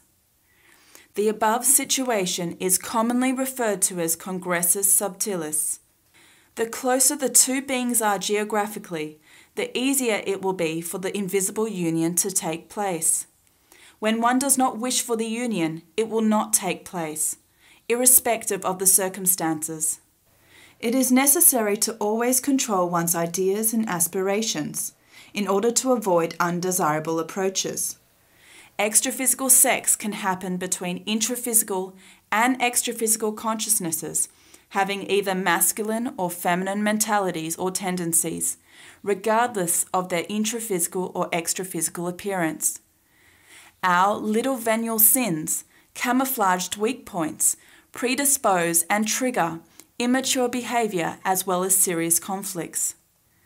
The projector must avoid any act that invades the privacy of intraphysical consciousnesses by restraining one's unhealthy curiosity and negative intentions. This will help to ensure one's conduct is moral and will maintain one's self defense in relationships with others. It will also avoid the attraction of psychotic postmortems who might be in the area, having been drawn to those individuals. These disturbed consciousnesses may feel that their privacy has been violated and might decide that they are justified in persecuting the projector, disturbing his or her intraphysical life and exits from the soma.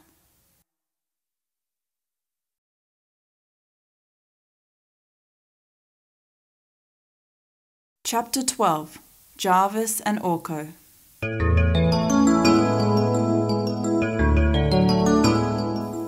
Prior to projection, Sunday, August 5th, 1979. I went to bed at 8:09 p.m. in a physically tired and sleepy state. I had a clear, prolonged vision of Maria Clara and was making preparations for a different type of extraphysical excursion without receiving any details. For the projector who is being guided, the route of the projection is always a surprise. Intense energy emission exercises lasted until 8:36 p.m. I lay on the right side. Extraphysical period I became lucid in the extraphysical dimension in front of the extraphysical consciousness, Maria Clara, who looked like an enchanting girl about nine years old with fluffy, neatly trimmed dark hair and the appearance and behavior of a very lively child. It was the Maria Clara I already knew, but changed. She was now undergoing preparations for her next intraphysical life. She explained that I would be making a visit on my own to an extraphysical consciousness called Orko, and that I should under no circumstances be frightened, but should maintain a serene trust in the extraphysical assistance that would be present the whole time, even if it was not always visible.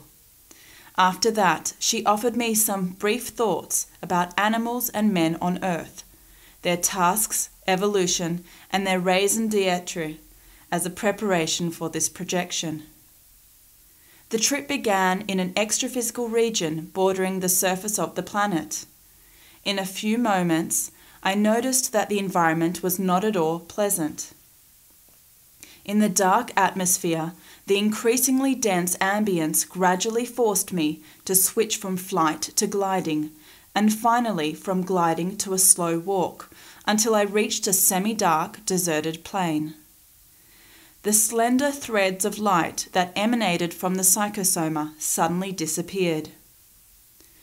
In the humid, heavy, cold environment, buffeted by freezing winds and unpleasant emanations, there was only one misty light hovering above me in the leaden sky. Vague forms passed by, like obscure shadows. Strange balls of energy swirled and appeared to explode here and there. The further I advanced, the denser the air became. It was similar to the intraphysical dimension on a moonless night. Shadowy, roaming figures burst out of the darkness. They were indescribable, persistent morphothosenes, some like swarms of huge, delirious hornets, quick, voracious persecutors that came from all directions, and that, fortunately, were chased away as soon as they had appeared. After this, there was still a long way to go. I covered the distance in such a hurry that I could not examine the surroundings in detail. An extraphysical consciousness having the appearance of a strong, upright man crossed our path. He gave me a mental explanation. Welcome, I am Jarvis. I will introduce Orko. I knew instantly that he was aware of where I came from and the purpose of my visit. As soon as I emitted my thought, an enormous, muscular, earthen coloured mastiff, the size of a panther, having hair like a lion's mane and shining eyes that seemed human, only much more penetrating and disturbing, jumped in the middle of the winding path. He was growling with a resounding roar, like a very ferocious wolf.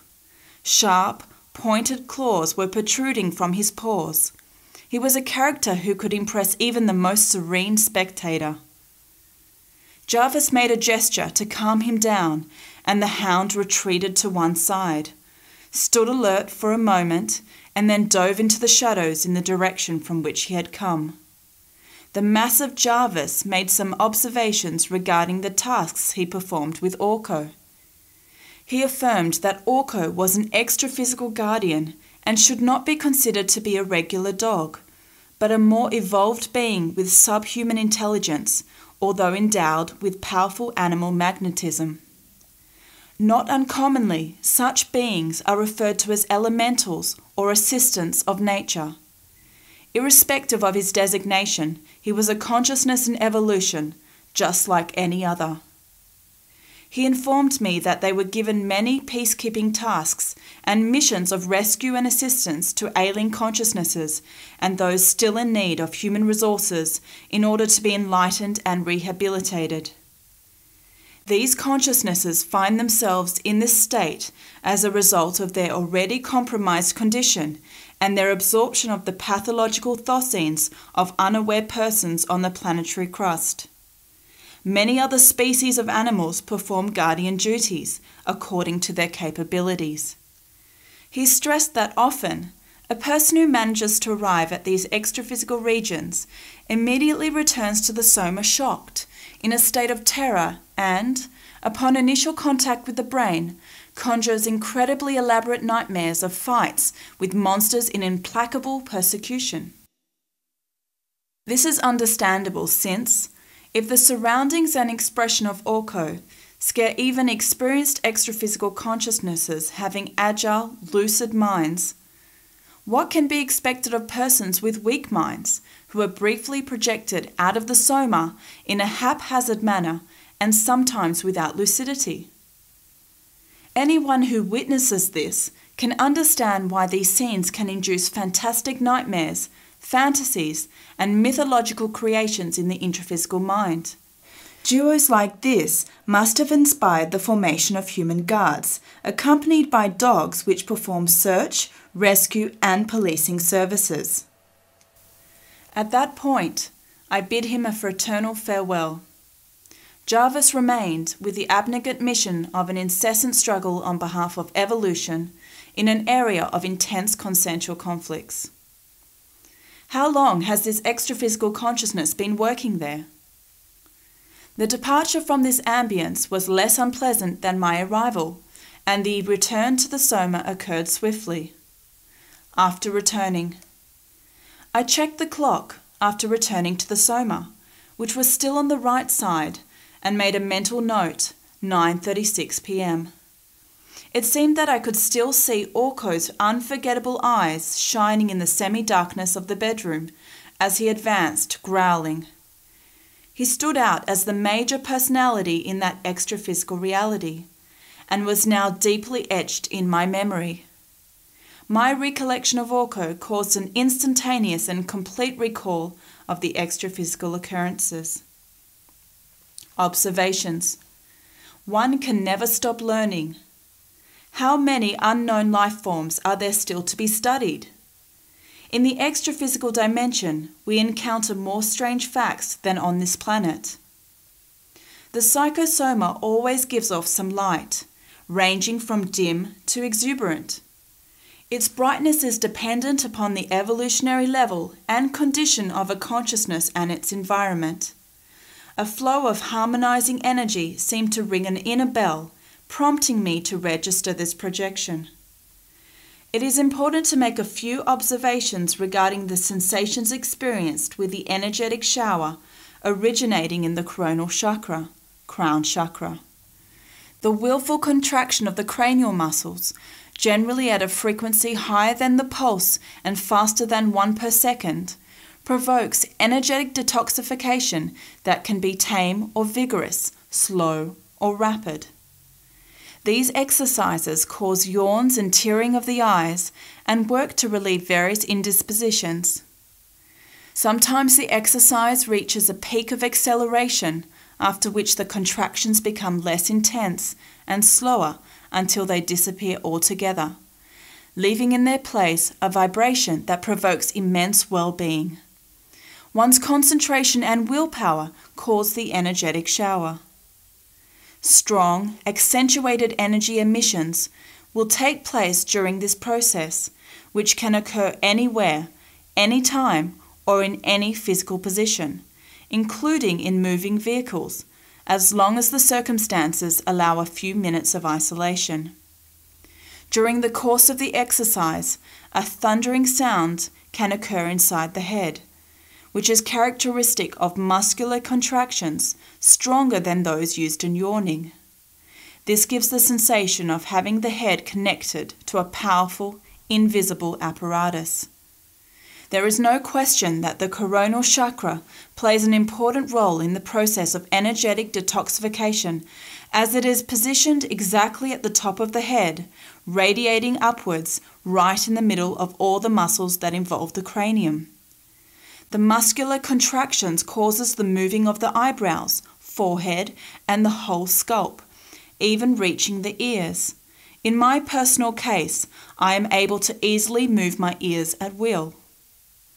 Inspired by observations made while outside of the body, I have, through the years, used that type of energetic detoxification while I am taking a shower.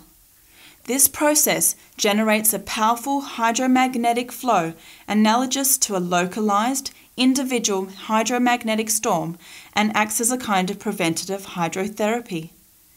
The water, set at a comfortable temperature, washes away the toxic energies as well as dense morphothosenes, magnetically rinsing the physical body. It has a positive effect on the aura, the silver cord, and even the psychosoma. I have often observed that, when there is food in the stomach, the energies stimulate digestion. Furthermore, energetic showers promote self healing from ailments such as general physical indispositions, psychic fatigue, facial neuralgia, neck sprains, and other minor afflictions. All these facts have been verified more than once. Those who are accustomed to the use of air conditioning in hot climates and are not overly sensitive to cold air can produce the same basic effect using an aeromagnetic refrigerating flow, or, in other words, the emission of energies while standing approximately 3 feet in front of a 1 HP air conditioner installed close to the floor and set at a low temperature.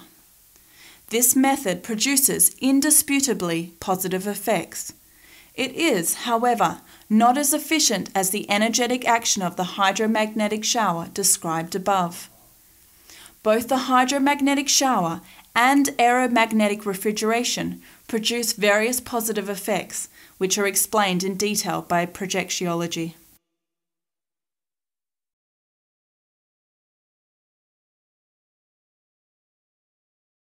Chapter 13 Energies and Perceptions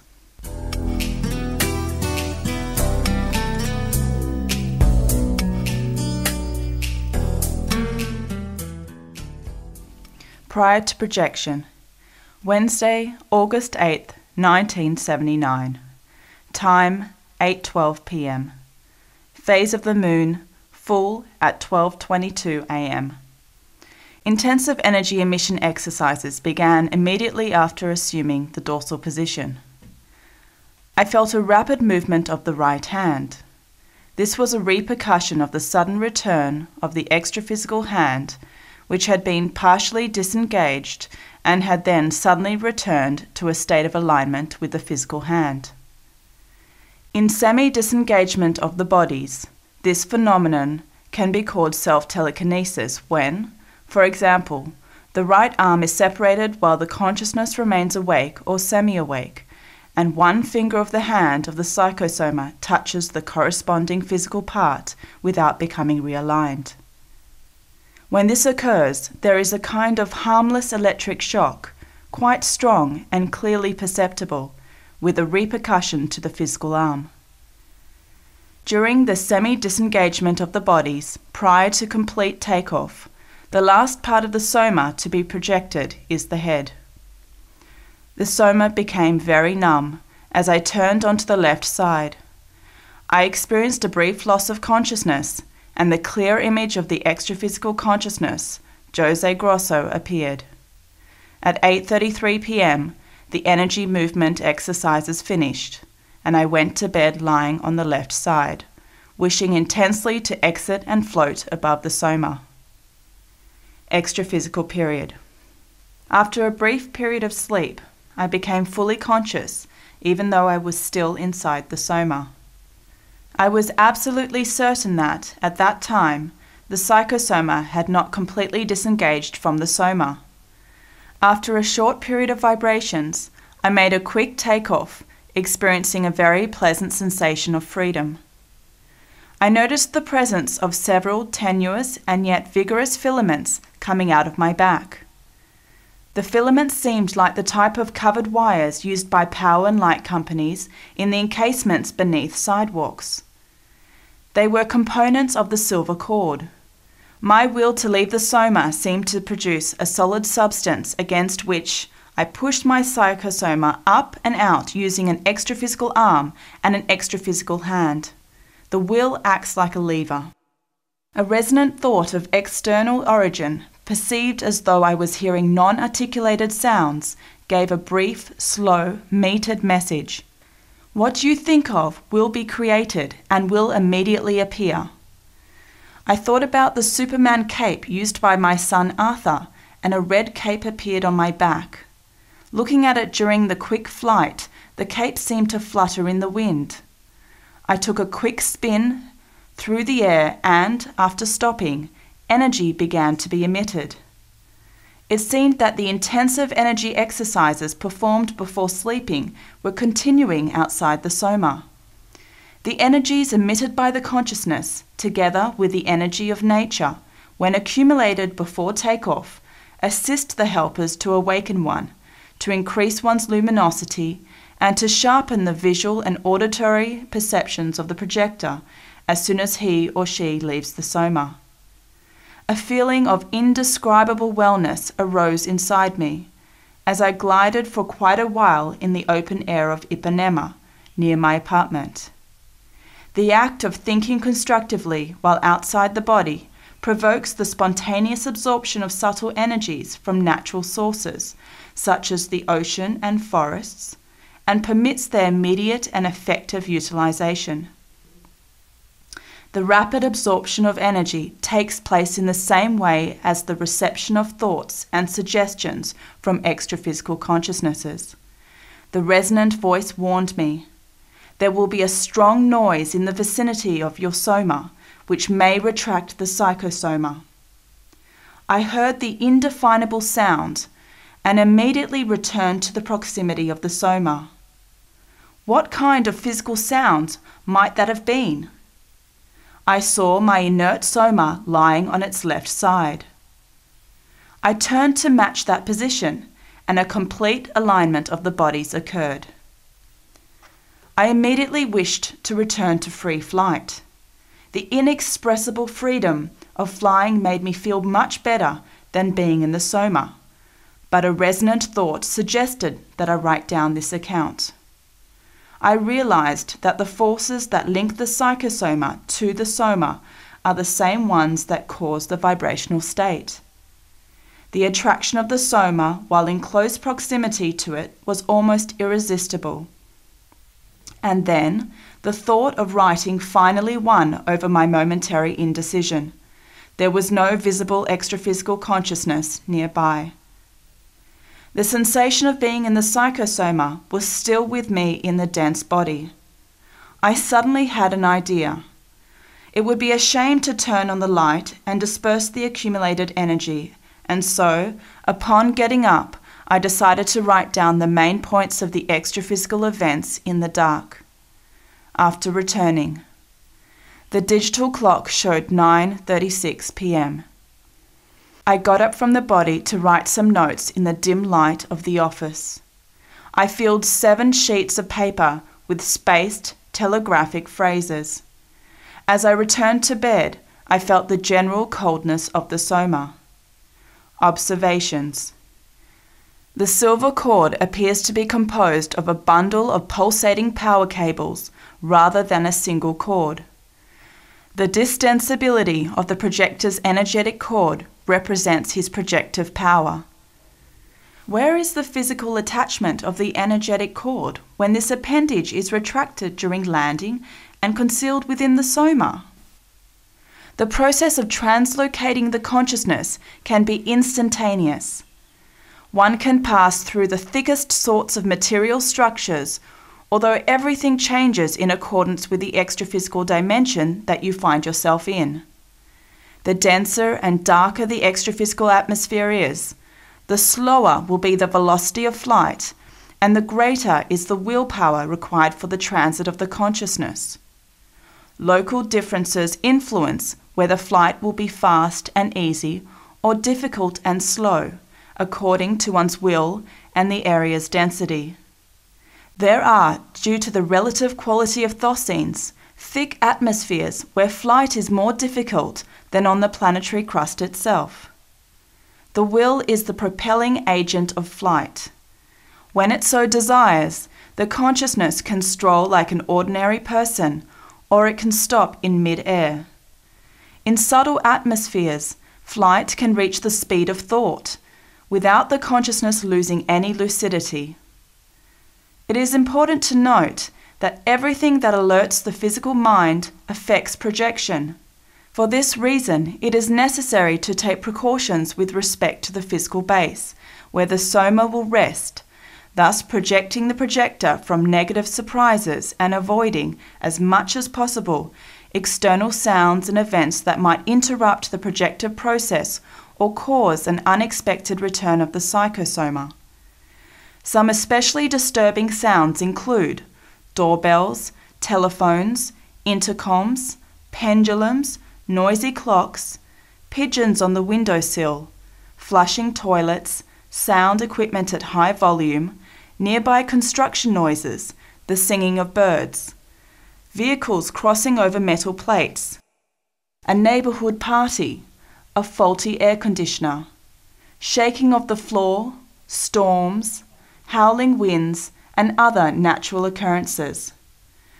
Background music in the projectarium the physical space tailored so as to maximize projectability is not advised.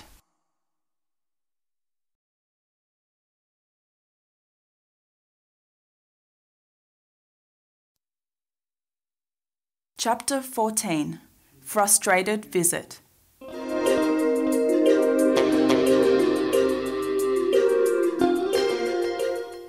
Prior to projection, Tuesday, August 14th, 1979. Phase of the moon, last quarter at 4:03 p.m. I went to bed at 3:35 a.m. for my third sleep of the night, after writing for several minutes in the living room. I lay down in the dorsal position, the ideal position for projections. Extra physical period. I was completely awake as I respectfully entered the bedroom of R, my sister and very close friend in the state of Minas. I saw her sleeping peacefully, lying on her right side, with her psychosoma in alignment with her soma. She was my target person. The suggestion came for me to awaken her without moving her soma. In this way, a transmental, telepathic dialogue would be possible. I placed my extraphysical right hand on her left shoulder, which was facing up, and used a familiar nickname to call her. F. After employing a reasonable amount of mental force and determination with the intention of provoking her extraphysical awakening, she sleepily looked upwards, seeking the direction of the call, trying to see who was bothering her. I seized the opportunity and gave a spontaneous explanation while taking great care not to frighten her. F, it's me. Look. I'm outside of the Soma, which is in Rio de Janeiro. For an instant, after giving the impression of continuing to sleep, as if somnambulant, she seemed to open her eyes and emitted a thought. My God, is that you? What happened? I'm visiting. How are S and EJ? Her perturbation by my visit was much deeper than it appeared. With a serious, younger, brighter face looking fixedly at me, she just repeated, horrified. No, no, please leave me. You must be a vampire. Since her emotional alteration was evident, I thought it better to leave her alone. The realignment of her bodies took place immediately, and I transmitted energies to calm her. I went to the adjoining room, gliding through the house, noticing the movement of my extraphysical arms and legs, and thinking, She thinks I am vampire, like Count Dracula. How difficult it is to make contact in these conditions. Me, a vampire? That's all I need. But her thoughts are not without reason, for they have the logic of fear. At that point, there was a noise inside the house, coming from one of the interior bedrooms. Had my sister awakened thinking that she had a nightmare? Or was another person in the house? I had the instinctive reaction to flee and seek out a place to hide, as if I had been engaged in a reprehensible activity and was about to be caught. My thoughts caused the psychosoma to levitate towards the ceiling. From there, I could see the light from the street coming in through the tall glass windows in the living room. I had assumed that position due to a compulsive and infantile reaction, thinking that I could perhaps remain hidden from anyone who walked in. I received an inner suggestion to return to the Soma. After returning, as I peacefully awoke, the projection felt as natural as any common event of human life. So natural had the occurrence been that, in order to test the projection, I emitted a flow of energy and noticed that the soma felt heavy. In a few seconds, I received a shower of energy. I then confirmed the presence of a helper. As I consulted the clock, I made a mental note 5:14 a.m. At that moment, before beginning to write, I intentionally began to recall all of the events I had observed while outside the Soma, especially the thought about Dracula, the strange and powerful personage of Count Rochester, written about by the well known Russian psychic Vera Krijanowski, published in Brazil as the Hatasu Queen. It was now 7:28 a.m. After making a long distance call, R explained that she had been awakened at some point during the night, but then had gone back to sleep at 4:30 a.m. when she heard the large clock in the house striking. She was somewhat indisposed as she was coming down with a cold. She did not dream, but said that she slept on her right side. She always sleeps on her side never on her back. She also mentioned that yesterday they had talked a lot about matters regarding us in Rio de Janeiro. She confirmed that another relative in the house wakes from time to time through the night due to health problems, and that the room has a window that was still open at that time, near a public lamppost on the street. She told me that she would be afraid to consciously see me outside of the soma. She had read the novel about Rochester a long time before and frequently works with the emission of energy, but has never seen an extraphysical consciousness and was afraid even to think about it. Observations It is not recommended that the projector try to reach another person, unduly intruding and meddling in their privacy without consent, except in extraordinary cases like this one based on family ties and with the intention of cooperating with lucid projectability.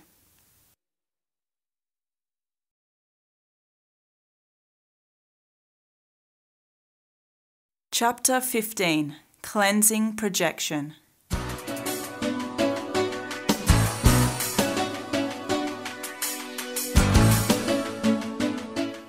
Prior to projection Wednesday, August 15th, 1979. An atypical day. Some duties and commitments required that I spend part of the afternoon and night with an amiable man I had recently met who lives outside Rio de Janeiro. The meeting had stretched out, and the period of personal preparation for sleep kept me from going to bed until 10:15 p.m. The extra physical company that had come with the visitor had stayed, perhaps to receive some fraternal thoughts. I functioned once more as extra physical bait, a person to whom a sick extra physical consciousness has become attached for the purpose of being treated. Extra physical period. Soon after the takeoff of the psychosoma, confirming the observations made before sleeping, I became lucid among psychotic postmortems with considerable hypnotic power, wearing gloomy expressions, making threatening gestures, and forming a horde of truculent persecutors. Aware of the function for which I had been summoned, I began the treatment of these consciousnesses in the surroundings of my own apartment, with the purpose of pacifying those classified by projectiology as intruders. How difficult it is when you are obliged to defend yourself.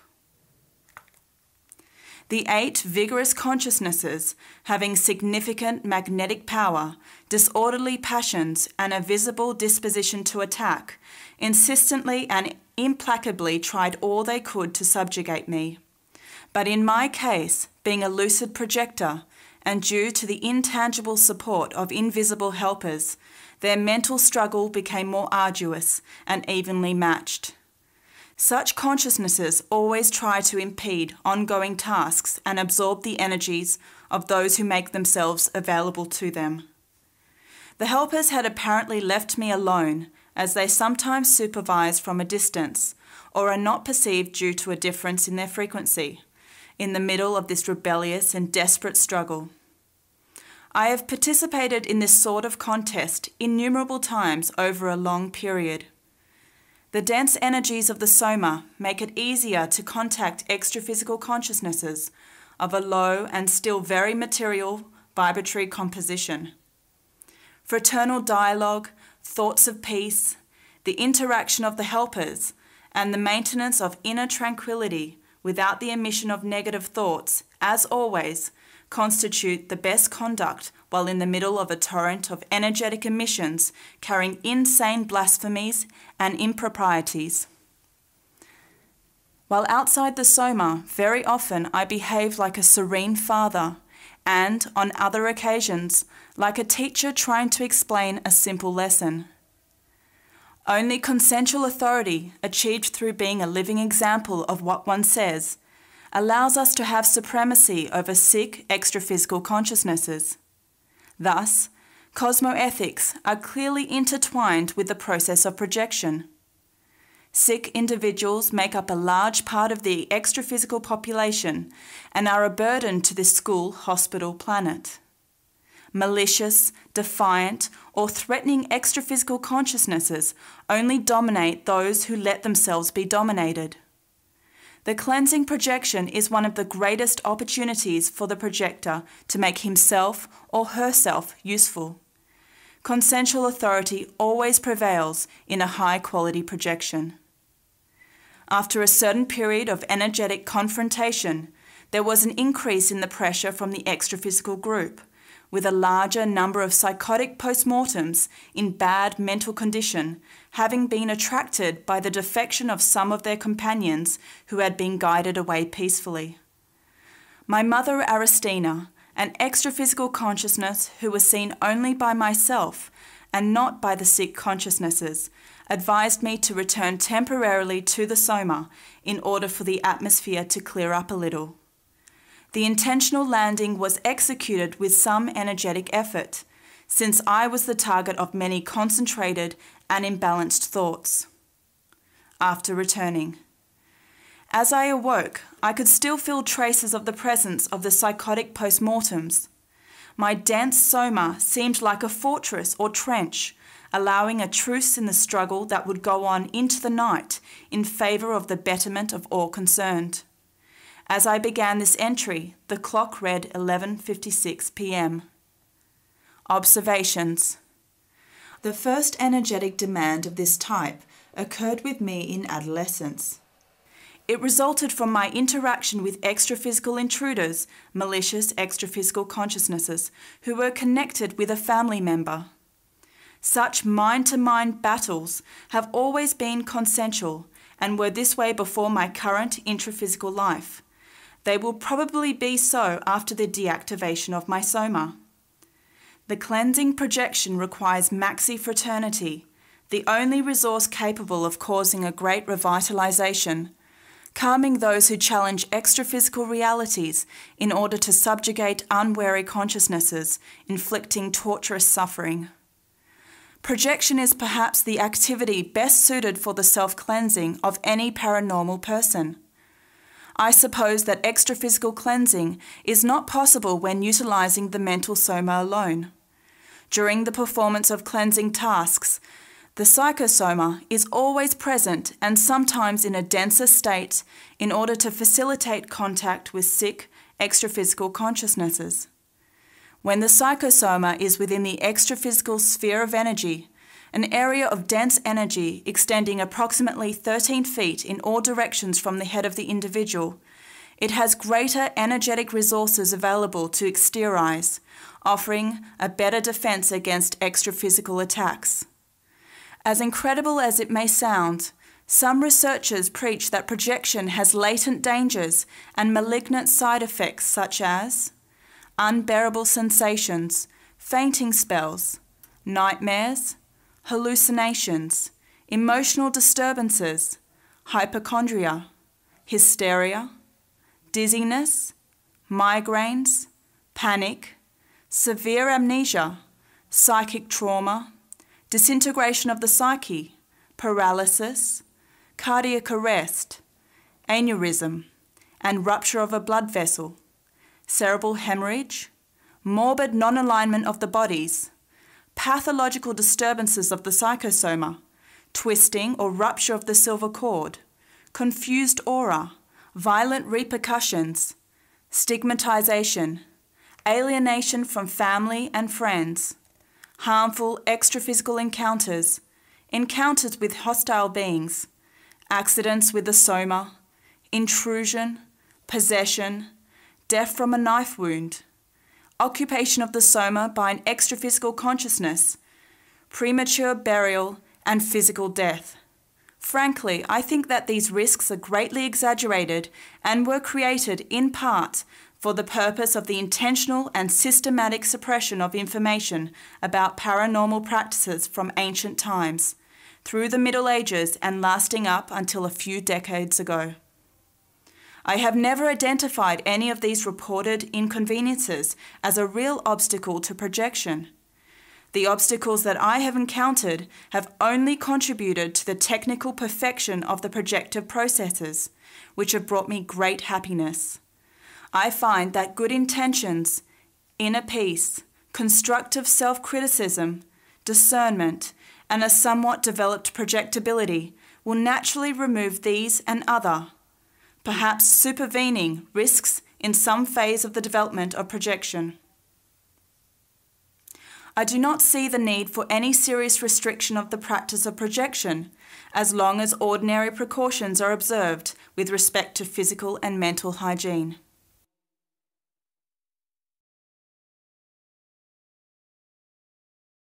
Chapter 16 Social Reception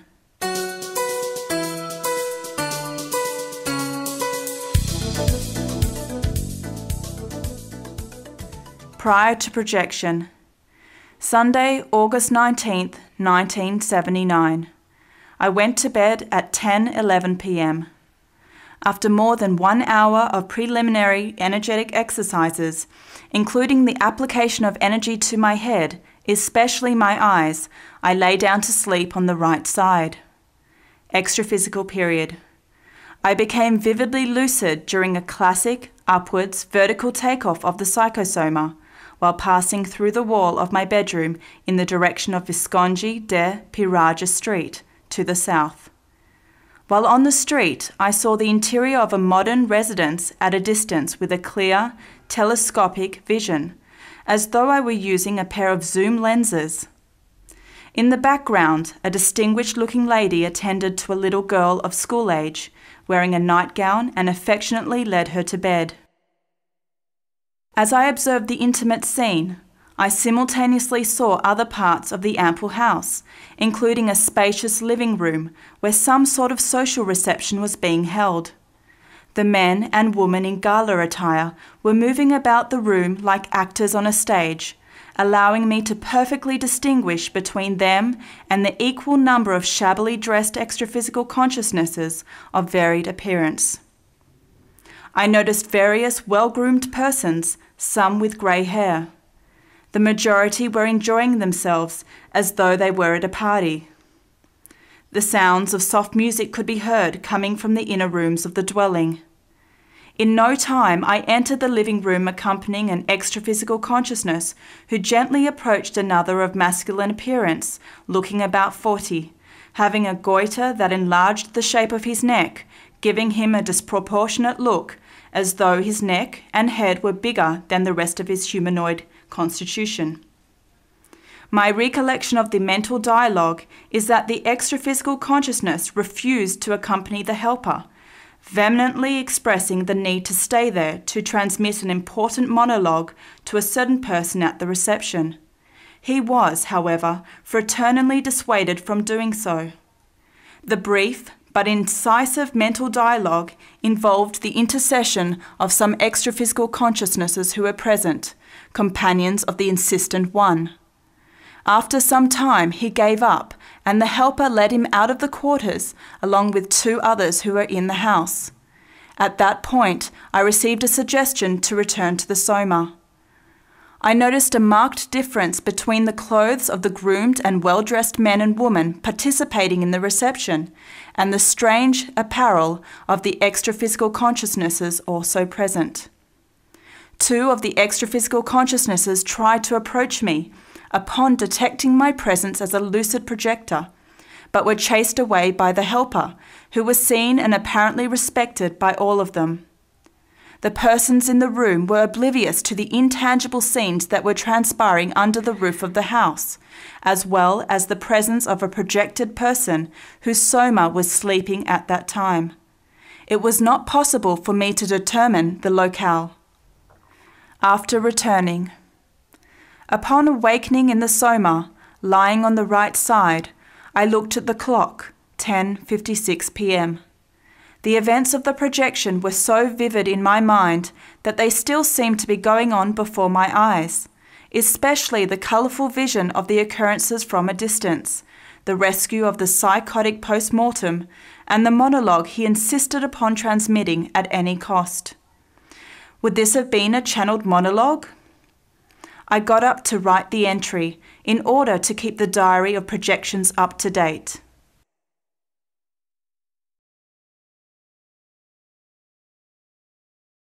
Chapter 17 Luminous Tombstones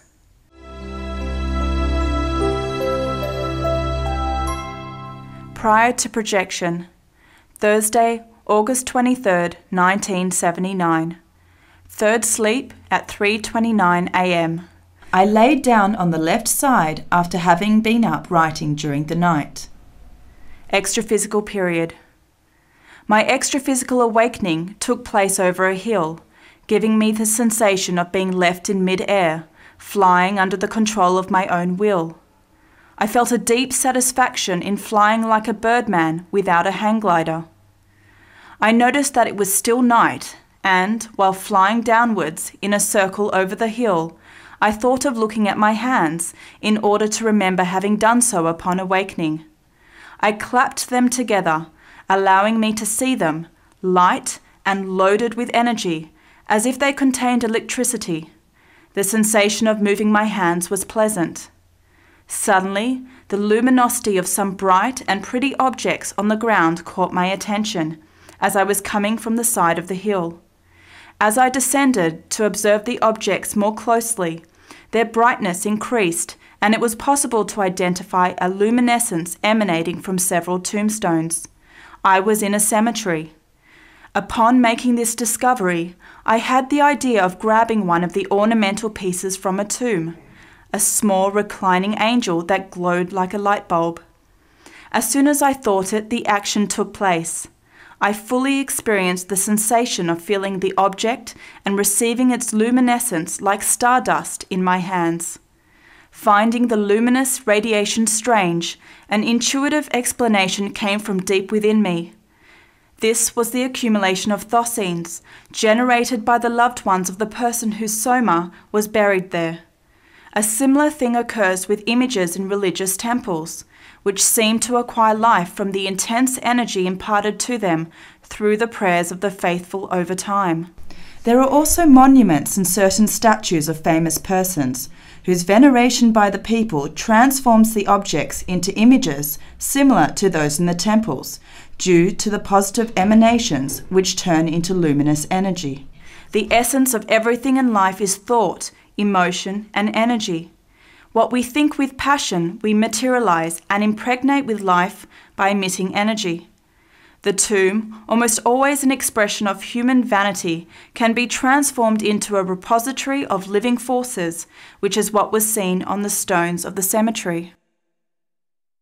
My hands seemed to attract the luminescence of the object, like a magnet attracting slivers of iron, which I could touch and feel. It naturally occurred to me to compare the cemetery to a vast deposit of scrap iron. As I floated up and away from the tombs, I saw several extraphysical consciousnesses circling a grave in a distant row. The consciousnesses I saw from a distance seemed to be working with other psychotic postmortems, assisting those who were unconsciously still tied down to their tombs and the general area of the cemetery. There were no extra physical consciousnesses near the luminous tombstones. Something within me suggested that I not approach the area as it was already time to return. After returning, as soon as I awoke, I checked the clock, 4:14 a.m. Fragmented memories began to flow into my mind. First, the last scenes of the projection, then the luminous tombstones, and finally, the exercise of clapping my hands while flying, which provoked once again the sensation of well being until I made this entry.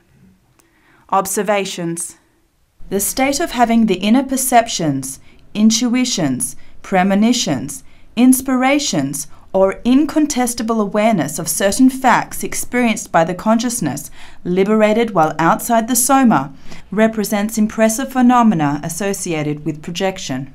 The projector is not concerned with their occurrence, but with repeated experiences, confidence in these processes arises, and one starts to apply them rationally in extraphysical activities.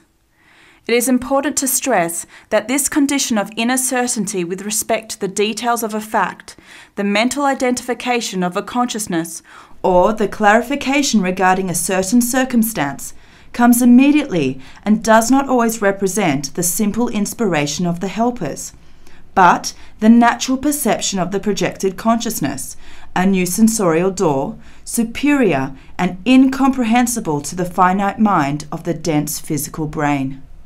Comes immediately and does not always represent the simple inspiration of the helpers, but the natural perception of the projected consciousness, a new sensorial door, superior and incomprehensible to the finite mind of the dense physical brain.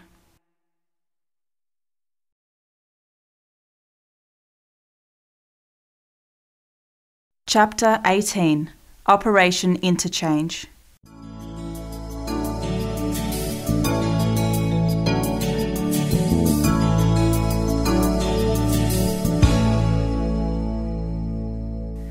Prior to projection, Tuesday, August 28th, 1979. An atypical workday. I had been in the city of Niteroi for a few hours. After 20 minutes of recuperative exercises, I went to bed at 7:55 p.m. in a physically tired state. Second sleep of the night without checking the clock. I laid on the left side. Extra physical period. I awakened in the extra physical dimension as I was entering an institution of multidimensional studies on a small deserted island. I was among various persons projected outside the soma, assisted by a team of helpers, all led by an instructor. The projected persons were congregated as they arrived, each one accompanied by an extra physical consciousness. They were treated with energies in the area of the head in order to increase their lucidity and improve their reasoning capacities, thus facilitating more precise recollections after the extraphysical excursion. The place, managed by a sizable team, functioned as an improvised establishment, but possessed authentic educational resources as in universities on Earth. According to explanations provided at the time, everything possible had been done to make the recent arrivals feel at home. This would predispose their enhanced lucidity while outside the soma, which would allow the assimilation and later recollection of extraphysical events in a somewhat integral form, generally in the form of intuition or dreams. The operation was performed on an island in order to facilitate the transportation of the projected persons as well as the consolidation of the extraphysical defences of the environment. I could see that the area was completely isolated by light strips, creating a campus in the wild environment among the trees and over the rocks of the island. In the installation, there were desks placed in rows, pictures on a wall, a simple podium at an elevated point, and a place like a screen for projecting visual images situated directly in front of the seminar leader. There must have been more than four dozen projected men and women, including some youths, authorities, public servants, teachers, medical staff, and participants belonging to various religious groups. Some knew each other and formed small groups as they began the exposition of what they called Operation Interchange, a series of luminous three dimensional maps and graphs of a determined area was shown, each one dealing with a particular aspect of human life, and all dealing with the same geographical area, which seemed to be a particular neighborhood of the city. Then, short lectures were given by three different extraphysical consciousnesses, developing the purpose of the meeting. They explained that, after small consecutive classes, an instructor would listen to the opinion of each of the persons who were temporarily liberated through physical sleep. The work entailed quick and intensive preparation for extra-physical assistance in a particular area of the city that the participating persons were from. Each one currently living in the area under study and possessing a different knowledge and responsibility. They informed me that similar teams are common in the extraphysical world, scattered throughout almost all countries on various continents. Out of these programs have come the ideas that have inspired intelligent assistance along the lines of Operation Rondon, conducted in Brazil, Operation Cleanup, undertaken in slums, and other related undertakings in which hundreds of residents of specific zones are assisted by all available emergency resources. In this case, the participants of the educational activity were being brought together to enact a broad collective task of extraphysical cleansing, with the hope of improving the condition of, and even, in some cases, rescuing intraphysical and extraphysical consciousnesses. The hosts of the event stated that the cleansing being done is still very elementary in view of the real needs of those being assisted. These consciousnesses live in situations of group and reciprocal energetic parasitism, wherein extraphysical consciousnesses try to force temporary, artificial, semi physical lives and transmit pathological energy emissions through processes of intrusion and energetic drainage of their intraphysical hosts. The presentations were very intelligent. They dealt with the issues of family and community life and sought to introduce simple, renovating concepts related to all aspects of human existence in a very natural and friendly way, free of mysticism or prejudice. They were presented in the manner of university students at ease on campus. The basic concept of cosmoethics stood out in all subjects addressed and was discussed in an impartial, universal way, uniting consciousnesses of all backgrounds, ideologies, and religious beliefs. A great range of topics was covered, including domestic life, work, transportation, health, leisure, school, and survival. All of them, however, converged on the same point the coexistence of intraphysical and extraphysical consciousnesses in homes and community centres such as clubs, associations, large and medium sized companies, fitness classes, and meetings of various types, including religious, political, and union gatherings.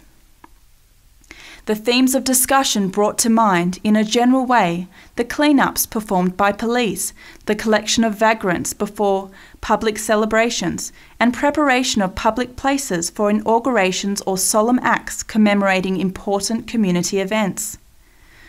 After informal, unspoken explanations were instantaneously transmitted, the instructor arrived.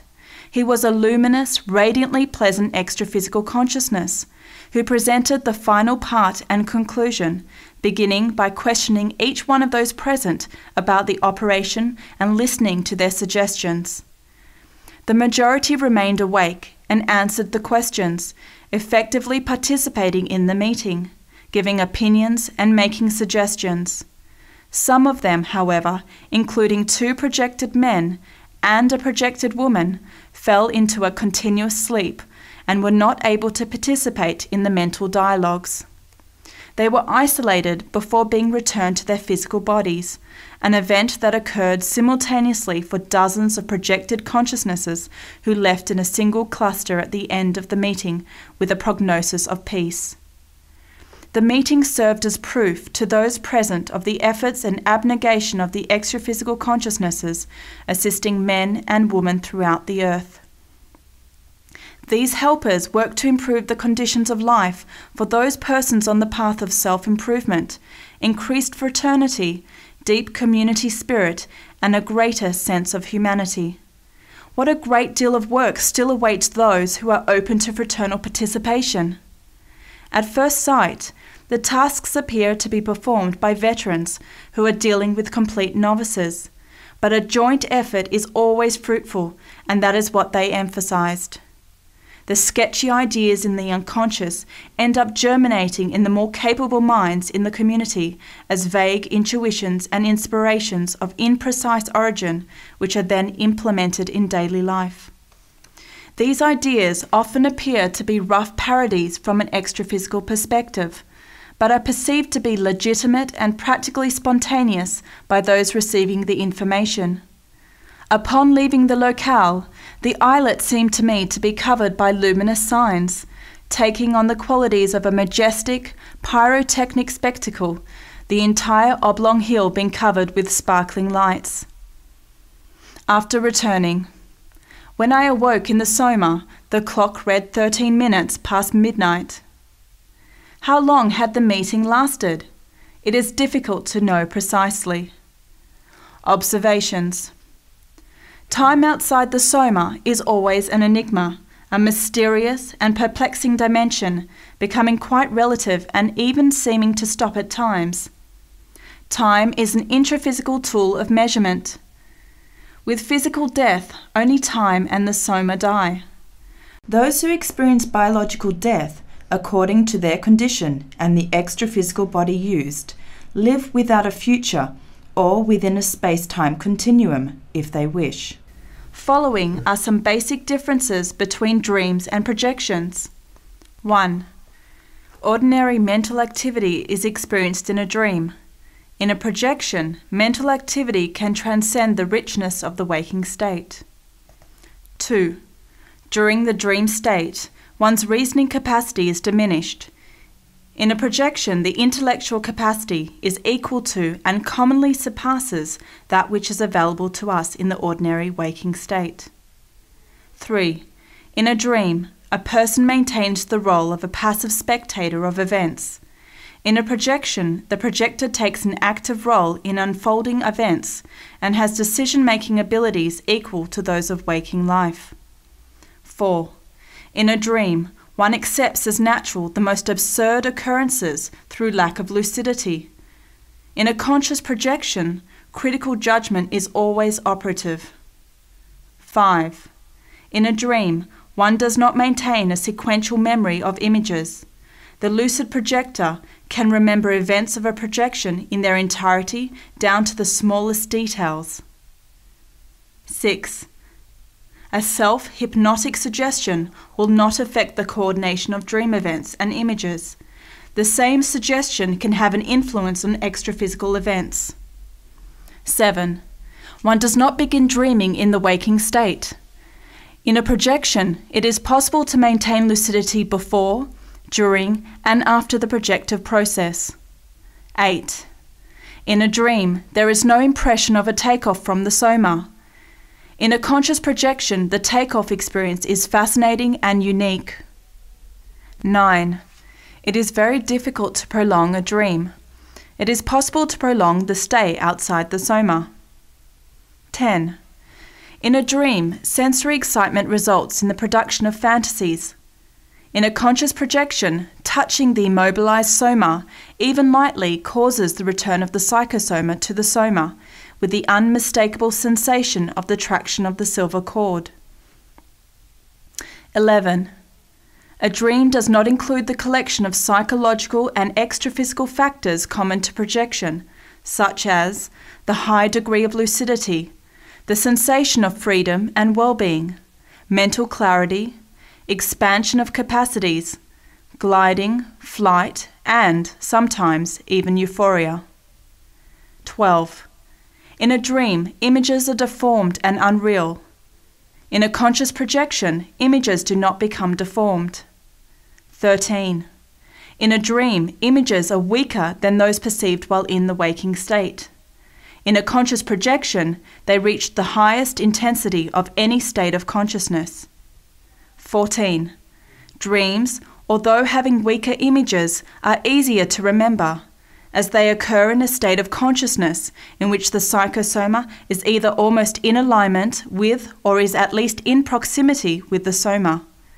A conscious projection, while its images are more intense, is more difficult to remember, as projection occurs at a distance from the soma and thus is not directly influenced by the physical brain. This is one of the most noticeable paradoxes of projection the more prolonged and distant the excursion of the psychosoma or the mental soma, the more difficult it will be to remember.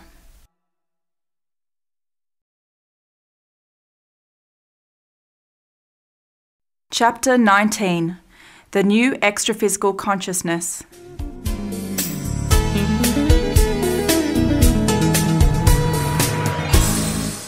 Prior to projection, Tuesday, September 4th, 1979. Third sleep at 3:55 a.m. I laid down on the right side. Extraphysical period. I became lucid in an extraphysical institution with a very pleasant environment, whose interior, being some 20 feet high, with broad doors and windows, was worthy of note. Various groups of extraphysical consciousnesses were situated in comfortable places, and in one of the delightful large halls, some of them were stretched out on beds. My attention turned to a kind, young looking, sexagenarian, bold male with a deep wrinkle of attention between his eyebrows. He was settled on a bed next to another male of advanced age, who was at the head of his bed. I received a mental explanation that this had been his father.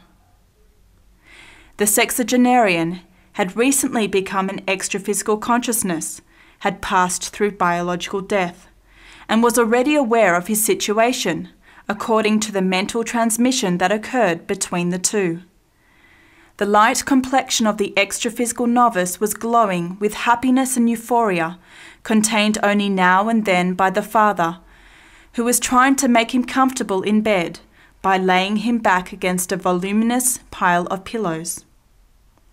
My presence was not noticed by them, as they had just met and were enthusiastically catching up on things, as one would expect from two relatives seeing each other after a longer absence. I asked myself if I was projected in the mental soma. The newly arrived extraphysical consciousnesses seemed to be in excellent condition as indicated by the satisfaction evidenced in the meeting. I was trying to understand the exceptional height of the institution's interior space. Could it serve to calm the recent arrivals from terrestrial life, illustrating the insignificance of the intraphysical dimension compared to extraphysical greatness? Or was it a result of my extraphysical visual perception? At this point, I saw another extraphysical consciousness, an ecstatic male who had entered the quarters through one of the wide side doors, having come to welcome the recent arrival. Concentrating all my attention, I clearly noticed that the extraphysical consciousness emitted a barrage of affectionate and absurd swear words in his transmental dialogue, out of habit from terrestrial life. The two joyfully celebrated the visit, as both had perhaps previously done during their intraphysical existence. With a juvenile excitement reigning over the reunion, they embraced exuberantly, expressing jubilation and mutual declarations of friendship under the calm observation of the father at the bedside. I began to reflect on the spontaneity of the scene, the loving, seemingly boundless outpouring of so many audible swear words in that elevated environment, the authenticity of the extraphysical consciousness's behavior and its consistency with their previous intraphysical lives. Thoughts and acts occur simultaneously in the extraphysical dimension. Returning to the immediate vicinity of the soma, I unexpectedly experienced an unpleasant sensation. The realignment of the psychosoma with the soma then occurred within a few seconds. After returning, I immediately opened my eyes and found the cause of the discomfort and subsequent call to return to the soma. The right arm had been in an uncomfortable position, resulting in poor blood circulation. After trying for a few minutes to improve the circulation in my arm, I checked the clock. It was 4:49 a.m. It was getting brighter outside and I could hear some birds chirping. Observations the mental soma can act, isolated and independent of the psychosoma. We consider that the intraphysical consciousness has a set of bodies, holosoma, composed of the soma, holochakra, the psychosoma, and the mental soma. In addition, the consciousness can project a portion of the holochakra. The consciousness also presents the energetic connections of the silver cord and golden cord. I consider the other bodies mentioned in the ancient texts and theosophy to be referring to different states of consciousness. It is interesting to note that, even though I had indeed been projected in the mental soma, having left the psychosoma inside the human body, I had experienced projective repercussions from the physiological problem of poor circulation in the right arm.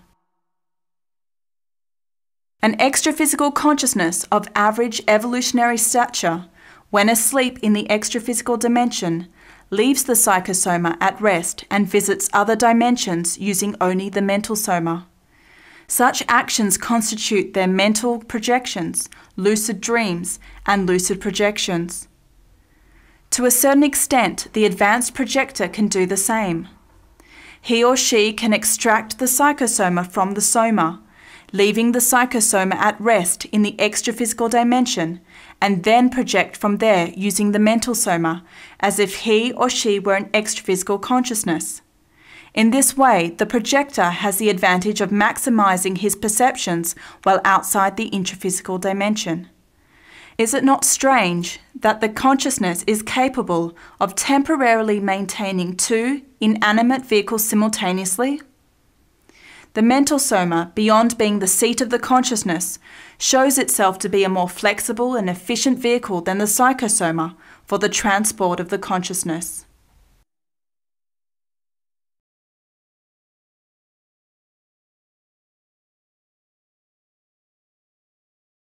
Chapter 20 Hydromagnetic Storm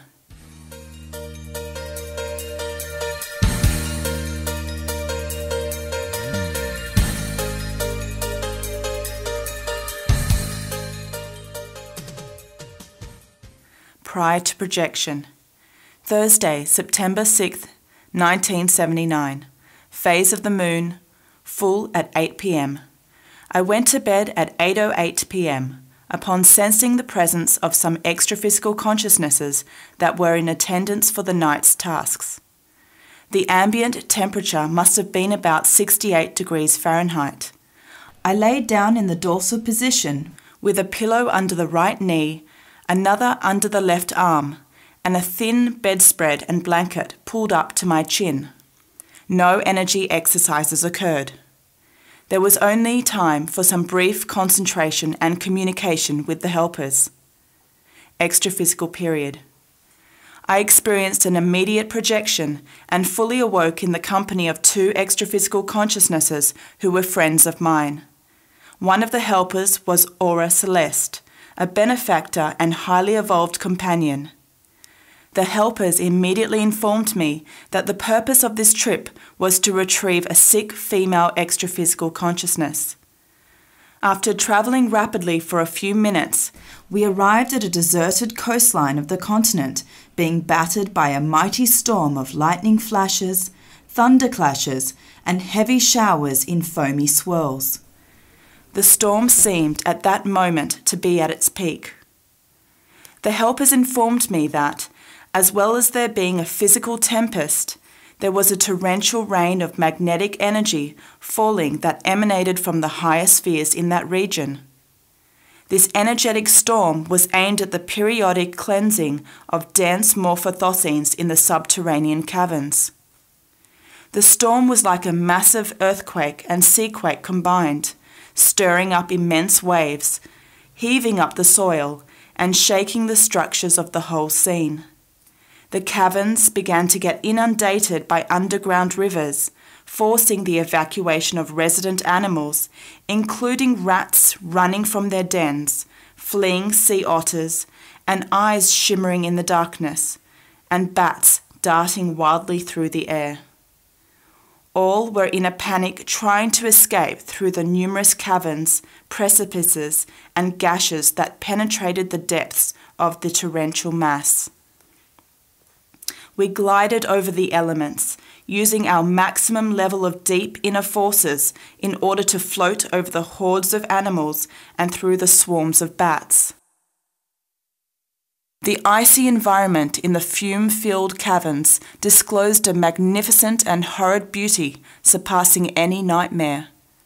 Between the colours of the jagged rock walls and the static majesty of the stalactites and stalagmites, numerous bands of suffering extraphysical consciousnesses, mentally alienated, without human bodies, but still extremely dense and feeling the magnetic effects of the tempestuous convulsions of the elements, ran horrified through the natural labyrinths in a depressing and terrifying save yourself state.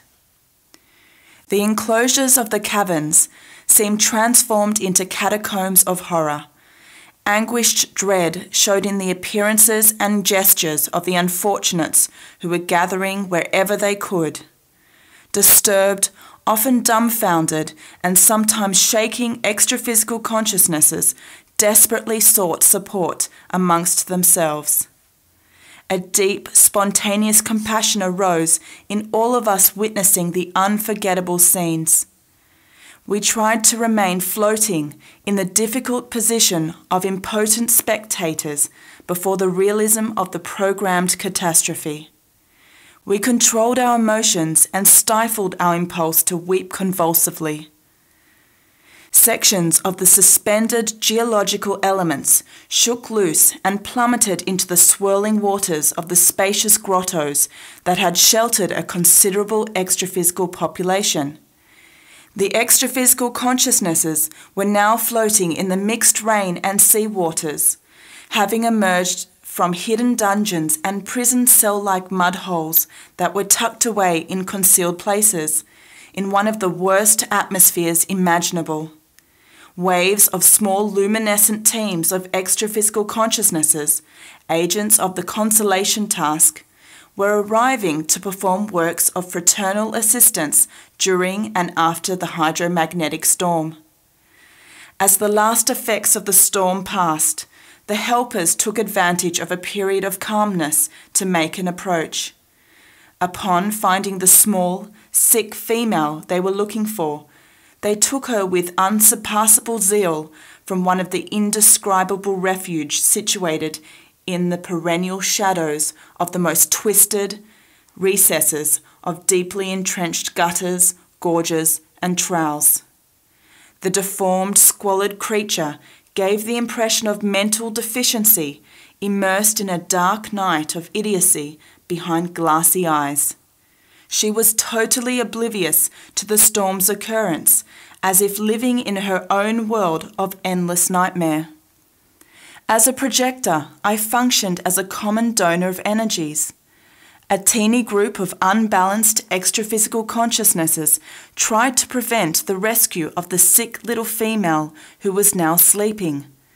This group of detractors was dissuaded by the energetic defences established with the Thosenes of the rescue team.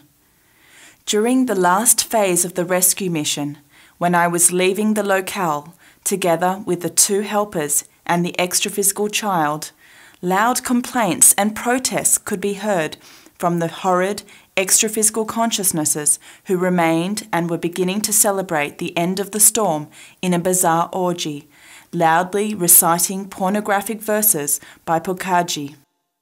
Our departure from that environment after the storm was quick and easy.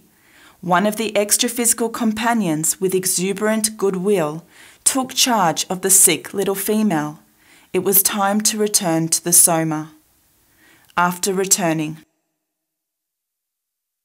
Upon awakening, still with the vivid images of the storm, the rats, the otters, and bats, my brain translated the faint echoes of the inexpressible sensations I had experienced only moments before.